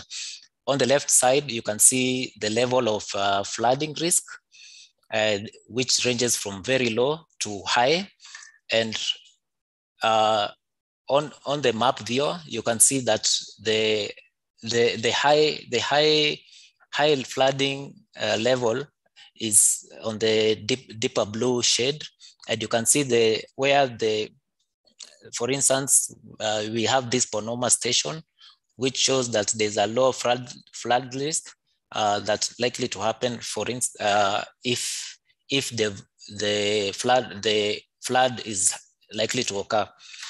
Uh, in any location can experience flooding, but most locations lack predictive uh, miles to tell what the next flood event would look like. So how we how we do this plan and respond to these events? The first step is to prepare for flooding and know what the flood areas look like and always try to mitigate that threat. In the map, we present, uh, in the map that I'm, I'm, I'm, showing you, you can see uh, uh, for this extent, you're able to see uh, once you conduct the vulnerability assessment, you can uh, tie this data to the, for instance, the population data and actually able to predict what kind of uh, population within this area is likely to be affected. That will inform the social, economic, and vulnerability as analysis and be able now to make uh, improved decision, uh, for instance, on evacuation uh, strategies and also uh, provide uh, alternative routes. For instance, if you are planning on providing alternative routes to, for instance, in evacuation, you can now use this map to gain deeper insights.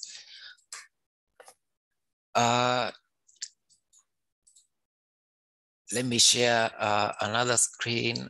I don't know whether you can you can you can see. Uh, could you confirm, please, if you can see my my next yes, tab? We, yeah, we can. Yeah, uh, Biko mentioned uh, how story maps can be used to communicate uh, uh stories and actually uh, be able to uh, explain and give deeper insights on what what analysis uh, is able to uh, come up with. Uh, for instance, uh, the flood management with ArcGIS, we are, we are able to see that floods can actually be a costly uh, disaster. But with the ArcGIS system, with the proper planning and uh, proper planning, we are able now, with the organization, we are able now to to have proper strategies to mitigate these these disasters.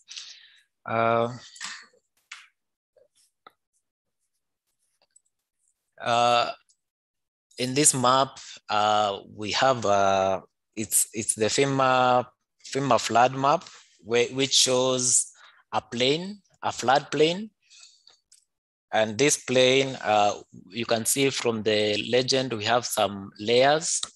Uh, that's the letter of the letter of map amendment, which actually describes uh, points that have uh, which actually described uh, points where people have tried to mitigate floods uh, earlier. And uh, we also have a letter of map revision. Let me just zoom out a bit. We are able to, to incorporate imagery and actually conduct more, uh, gain deeper insights on how we can have this uh, system to inform our decisions on, on the type of, uh, the kind of uh, strategy that we need to undertake. For instance, we could have, uh, you could map out the parcels, the land parcels that are likely to be affected, and the type of land use that could be that could be also be within the zone, the flood, the flood zone, and the type of uh, activities that are likely to be affected with this kind of floods. Uh,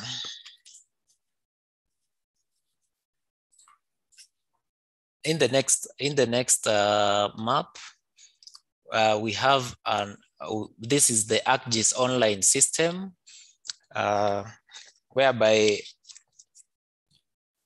whereby we are able to see the level the level of uh, uh, the level of flood. Uh, and what you're seeing here is the flood inundation stage for a place in California. And this, this data is actually tied to the National Weather Service uh, action in the United States. And uh, you can also have the ability to zoom into the map and identify, for instance, this is one of the rasters that has been processed to show the different levels of the different flood levels uh, that uh, have been modeled. For instance, in here, uh, what, what you can see on the map is a flood level of 15 foot stage and you can see the extent on which it covers. And within, within this extent, you are able now to see uh, what kind of uh, facilities are able to be to be are at risk of being affected by this event. So if I click, you're able now, uh, let me just see if it responds, but you're able to see the inundation depth at, a, at a certain point. For instance, if I try and click uh, on this section.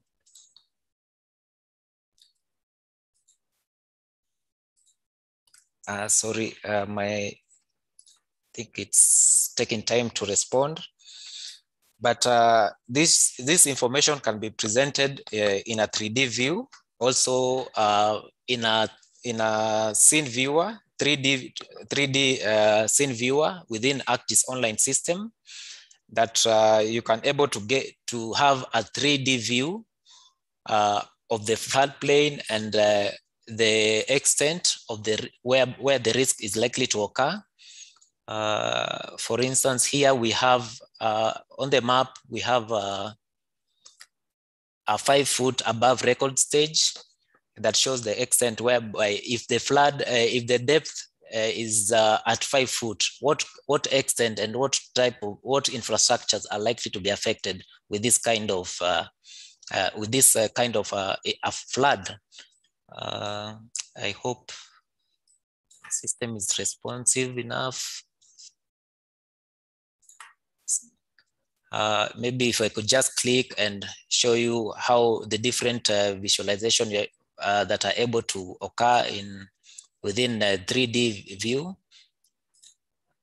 uh, you're able to pan and uh, move across uh, and, and, and, and glide across uh, the plane and have that 3D uh, visualization to actually gain deeper insights on uh, and give you an idea of the flood depths. This data can be improved because most of these uh, rasters are developed from the terrain, uh, digital elevation models, and uh, LiDAR, LiDAR data. And this could be used to improve uh, this, uh, this type of analysis. Uh, this, al this allows you to look at what the predicted stream value of the stream is going to be along with the past flood values. For instance, maybe if if I could try and click to see if it's responsive enough. So this is a 35 foot flood stage and you can see uh, it's, it's rendering, but you can see the extent, the extent at which the flood has, uh, has, uh, has, has spread. And this, and you can, you are able now to visually, with the imagery uh, overlay, you're able to visualize the type of infrastructure that's likely to be affected with uh, such kind of uh, a flood flood event. Uh, if I if I glide over to the next map, uh, this this is a stage warning map. Uh, this this map shows um, uh, this map shows uh, uh, the weather weather weather weather data and which is which is which is really important in uh, informing us uh, whether weather data is important in this flood flood analysis. Uh, if uh, if if I zoom close to to to this kind of to this type or to this town, you you hello can you can you hear me? Uh, yes, we can.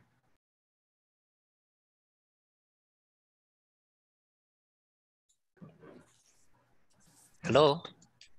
Go ahead, Sydney. We can hear okay, you. Okay, okay, okay, okay.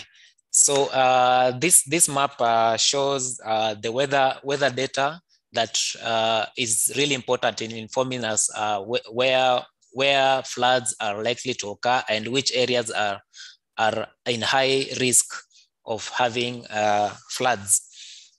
this is a this is an United States map uh, which is uh, which contains data that has been sourced from the national national uh, weather service station uh, of the USGS, and uh, with this you are able to see you're able to model the rivers at different time and able now to plug in weather data. For instance, we have the short-term weather warnings that is provided as a raster, and also you're able to see uh, uh, to get a flash flash floods warning uh, if it's the type of flood, uh, or also the long-term floods. For instance, if I zoom in to one of the point, one of the areas here, uh, there you're able now to see uh, stream gauges. For instance, if I click on this, uh, on this point here, you can see that we have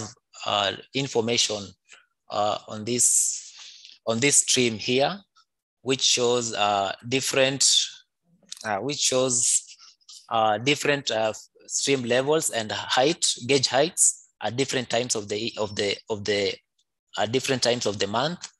And with this, you're able now to to actually predict uh, at what level these floods will will likely to occur.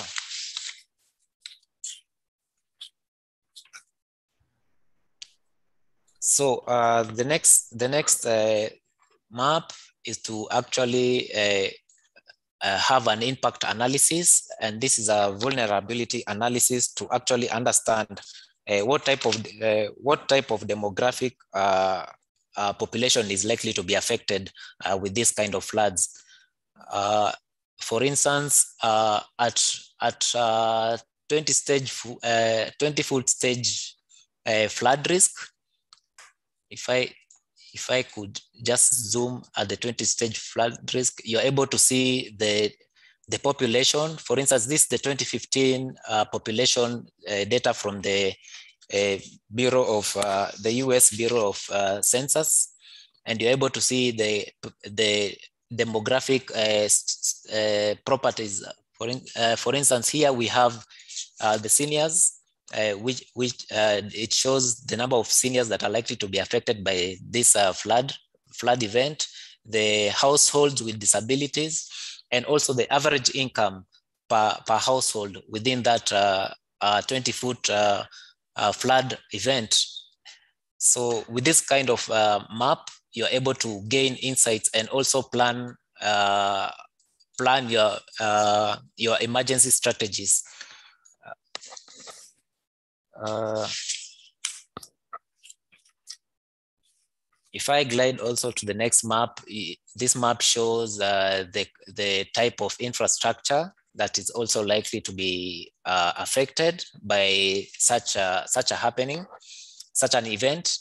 Uh, with, with flood with flood events, you, you want to understand uh, what, what infrastructure, what public infrastructure will be affected uh, when it when when when uh, for instance uh, flood of a certain depth uh, occurs and with the ArcGIS system ArcGIS online system you're able to actually map out uh, exactly what uh, which which facilities are likely to be affected. For instance, in in this map, I have a 30 foot stage uh, uh flood flood model uh, with a buffer buffer zone over 35 uh, foot, and you're able to see, for instance, if I click on this infrastructure here, you can see it's a hydrant, and you you are able now to determine what exact which number uh, which amount of uh, which which number of facilities and ex exact uh, where where they are located that, that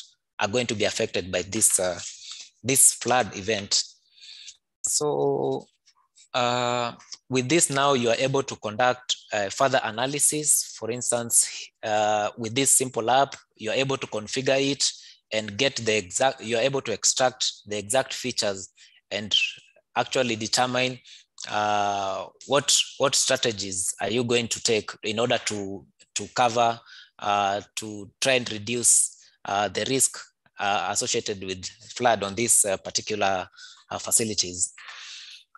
So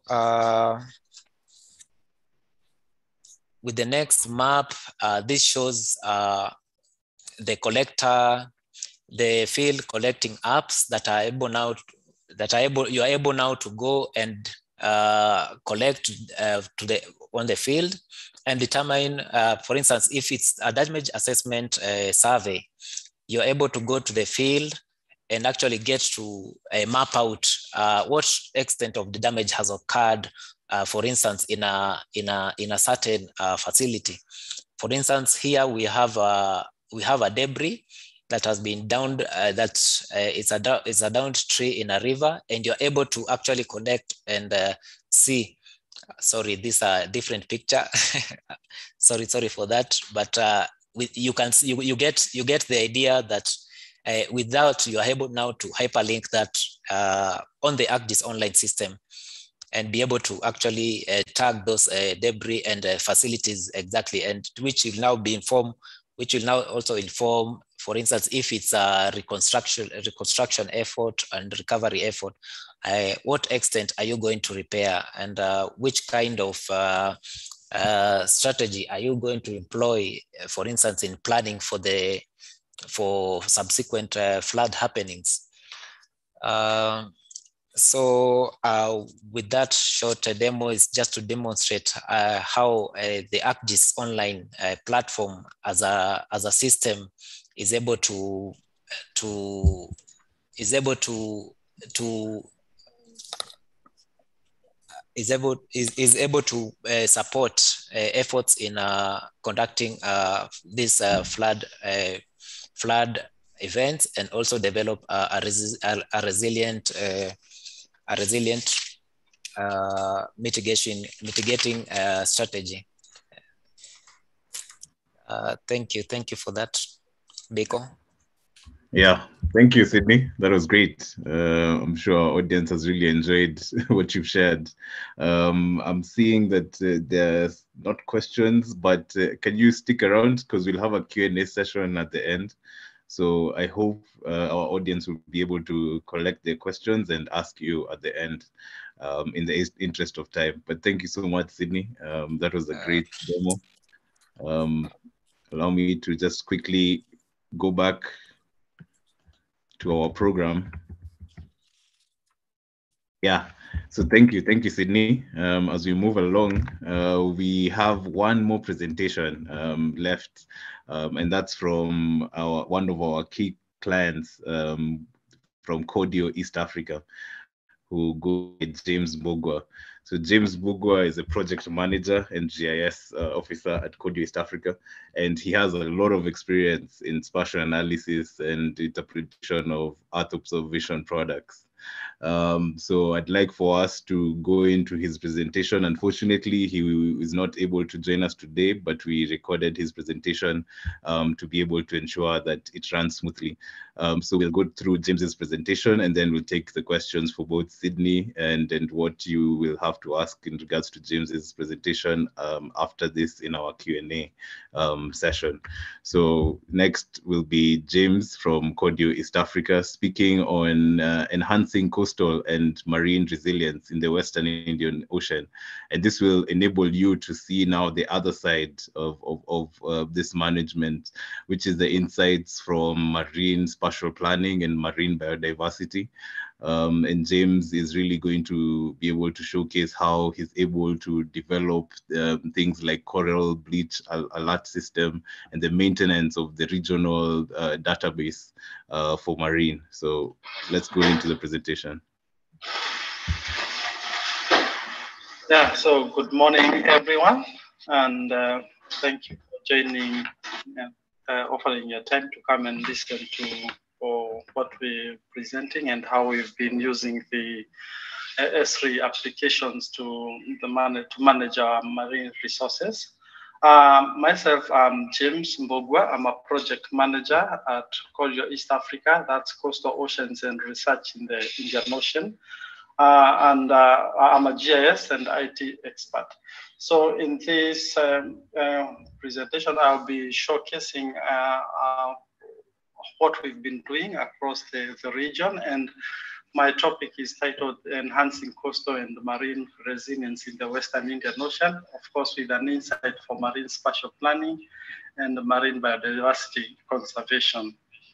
So to, to, to start with, so I'll just highlight my uh, the, presentation overview. So I'll talk about CORDIO in uh, uh, brief details, and then we look at the Western Indian Ocean perspective, threats facing the coastal and marine environment, some of the solutions that we have tried to provide or intervene, and here I'll look at some outputs and products. Then I'll pause a bit and uh, give uh, the floor time for reaction and some question and answer before proceeding to the services and wrap up. So to begin with, CORDIO East Africa is a research organization. Are, it was initiated in 1999, and our main focus is on marine and coastal ecosystem in the Western Indian Ocean. So as much as our focus is on coral reef, coral reef. So we, we also have a broad context, which include the ecology and resilience, long-term monitoring, artisanal and small-scale fisheries, and things to do with climate change and sustainable development of the uh, blue economy. So our, our, region of engagement is the Western Indian Ocean. You will hear more about Western Indian Ocean. I'll be referring to this, but since 1999, we've been in operation for 20 years, and we've actually have uh, our footprints around the Red Sea, the East African region. We've also implemented some project in the Andaman Sea and Southeast Asia. So, well, just to move forward and tell you about the Western Indian Ocean region. So, few readers will have heard about the term Western Indian Ocean region. And yet this uh, space is home to 60, kilo, 60 million people living within the uh, 10 East African and South African countries. So the map on the right shows the, Western Indian Ocean region. So we have 10 countries uh, from Somali to South Africa and then far east up to the Comoros and the uh, this Mauritius. And so this is where actually our focus and research is, is, is focusing on. So the, places I've mentioned is, six, uh, is home to 60 million people living within a 100 kilometer stretch. So it's quite a, uh, an area that is inhabited by so many people that are drawing their, uh, the, the, their livelihoods from the ocean. So in 2017, we there was a, a, groundbreaking report. So we initiated a, a, a, study that actually placed the Western Indian Ocean region as an asset and it placed a, value of around 300 billion US dollars. So despite this enormous wealth and uh, enormous wealth and benefits, the health of the Western Indian Ocean asset is in real jeopardy. So uh, looking at this as an ocean in peril. So the growing human population has increased the demand for both food and space. And our oceans are now being overexploited and polluted. threatening these fragile ecosystems. So as you can see on the, the, the image on the right, just showcase some facts that we found from the study. So the over 60 million people living on this area have exerted a lot of pressure, and this has resulted in shrinking of ecosystems, including mangrove. You can see around 18% of the mangrove have declined since 1980 to around 2010. Well, we also are also experiencing challenges in terms of coral reefs. Uh, so there is risk of bleaching, uh, actually occasioned by climate change that has also resulted in the increase in the pH, uh, the salinity of the ocean, and sea level rise that has again has a, an impact on the marine life. So the, the demand for food, on the other hand, has also led to the, the situation whereby the resources of this region are being uh, overexploited. So looking at this scenario, you realize that there is a lot that needs to be done. And unless there is effective management plans, so these uh, resources might, uh, the Western Indian Ocean might cease to produce the, the resources or the benefits that uh, people depend on. So on my next slide, I'll just show some key highlights. So about the, on the region. So the current declines in ocean asset and future population and economic growth so provide a profound challenge to the blue economy of the future.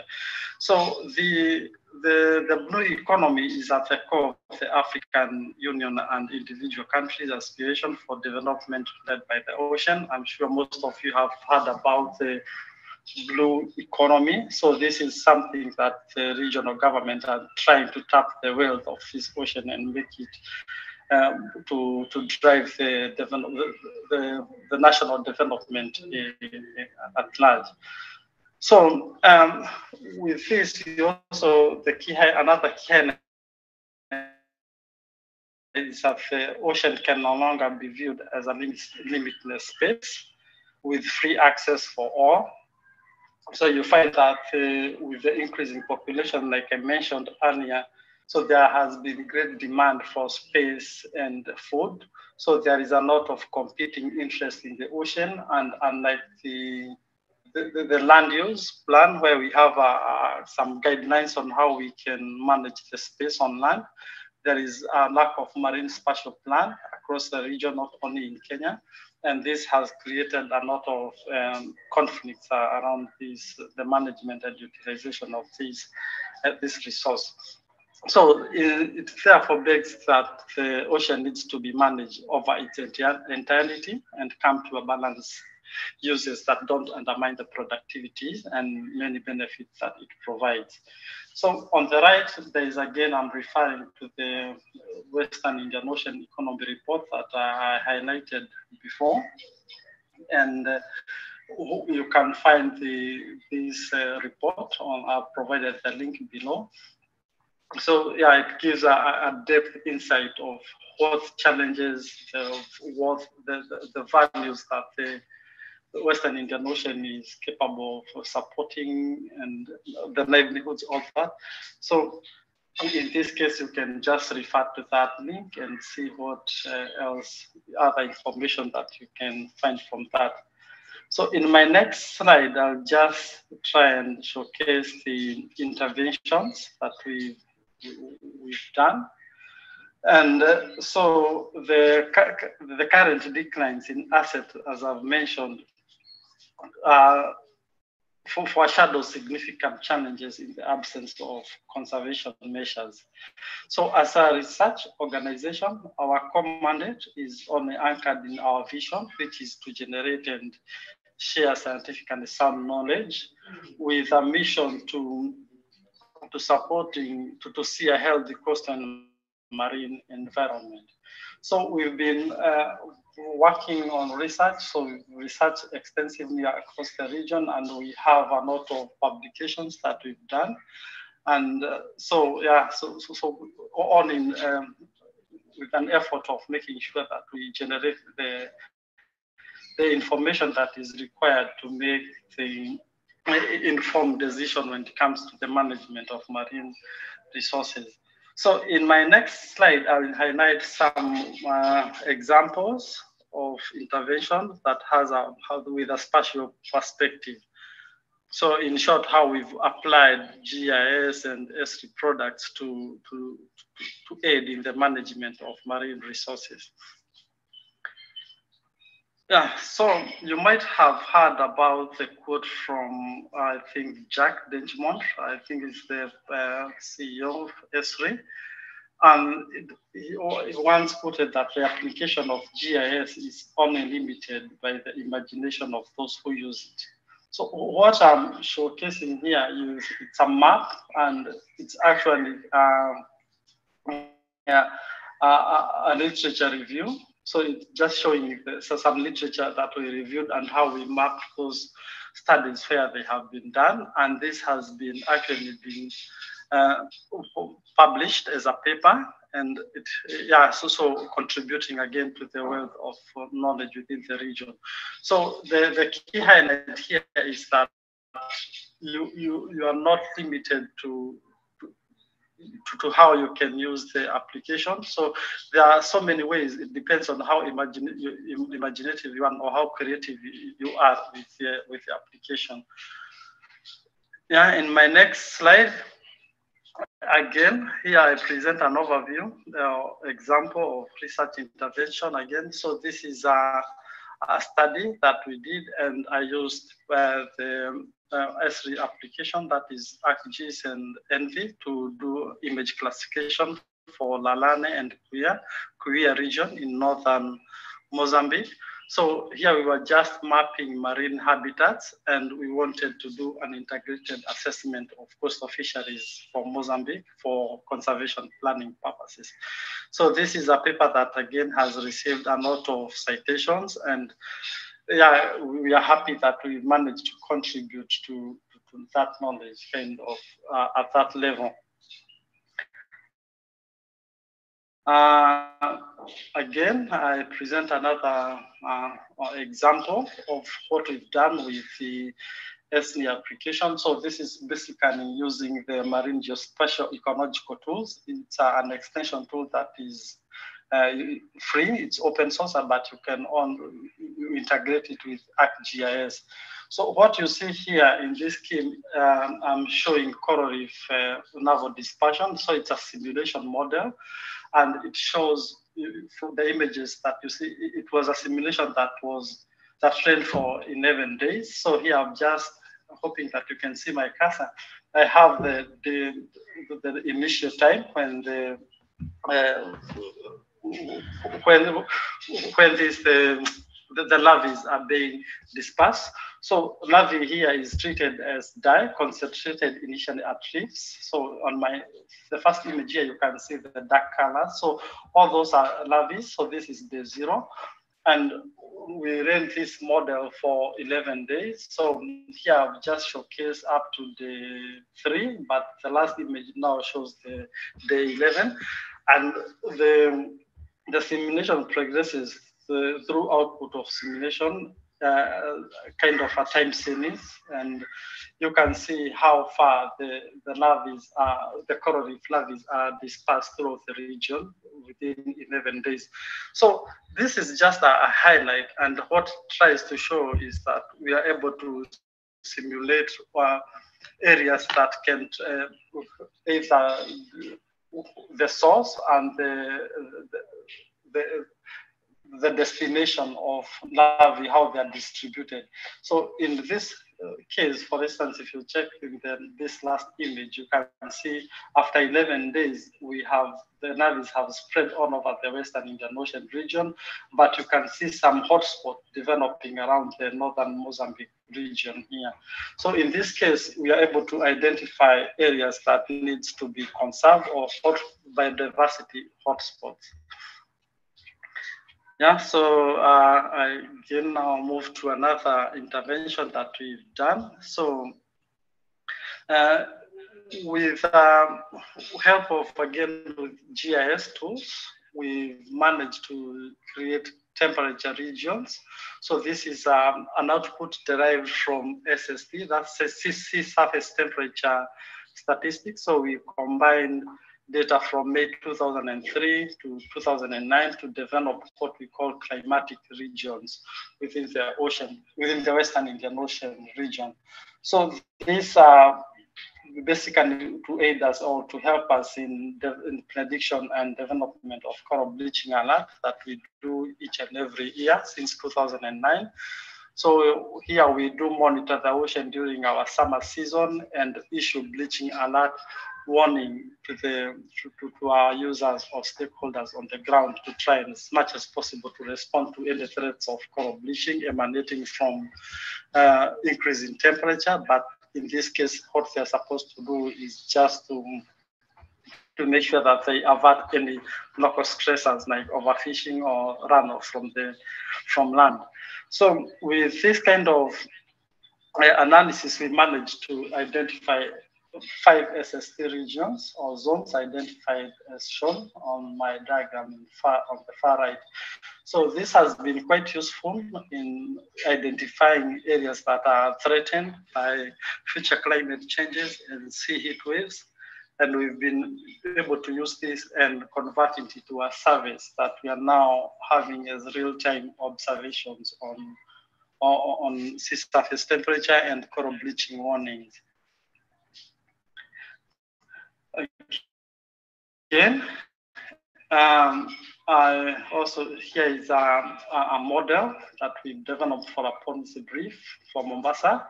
So here we are just trying to simulate rise and identify hotspot areas that are prone to flooding either by an increase of sea water sea level rise by one meter so one meter, two meter, so it's a graduated uh, kind of presentation whereby you can see some hotspot areas. And this was actually an insight uh, written by our director, Dr. David Obura, and it tries to illustrate the challenges faced by many coastal cities within the, the region. Below here, we try to mark, it's a, a, a hotel that was just next to our office and so it's just um, an indication of how some of these areas like highlighted there around. So it's around Bamburi around here. So this building here, it's a hotel that was actually eroded by sea erosion and wave. And yeah, so it's kind of a, um, a real example of how some of these hotspots have been identified and showcased. Yeah, so uh, um, I think I've been too fast and I'd like to pause for. Yeah. I hope uh, you are able to follow through that presentation. Um, I've paused it because it was going into the question and answer session, which is coming in next. Uh, but I hope you're able to really get a good understanding of, of how GIS has been able to really help CORDIO uh, with the marine spatial analysis that you've seen. And even they've been able to contribute towards research papers that are now leading, um, you know, the industry into understanding some of the effects of, you know, the sea level rise and even coral bleaching, like you've seen. So, ladies and gentlemen, that that was our second um, presentation from one of our key customers. Um, at this point, um, I'd like for us to, you know, interact. Um, I'm sure we've covered a lot of things. It's now coming to 5 p.m. Um, here in Nairobi. Uh, we have 30 minutes left, and we saw it fit to ensure that we reserve enough time for questions and answers. Um, so you may feel free to place your questions um, on the chat or um, you can unmute yourself. Um, we have Sydney here who presented. Um, if you have any questions for him or or any other panelist who's spoken, kindly feel free to now engage.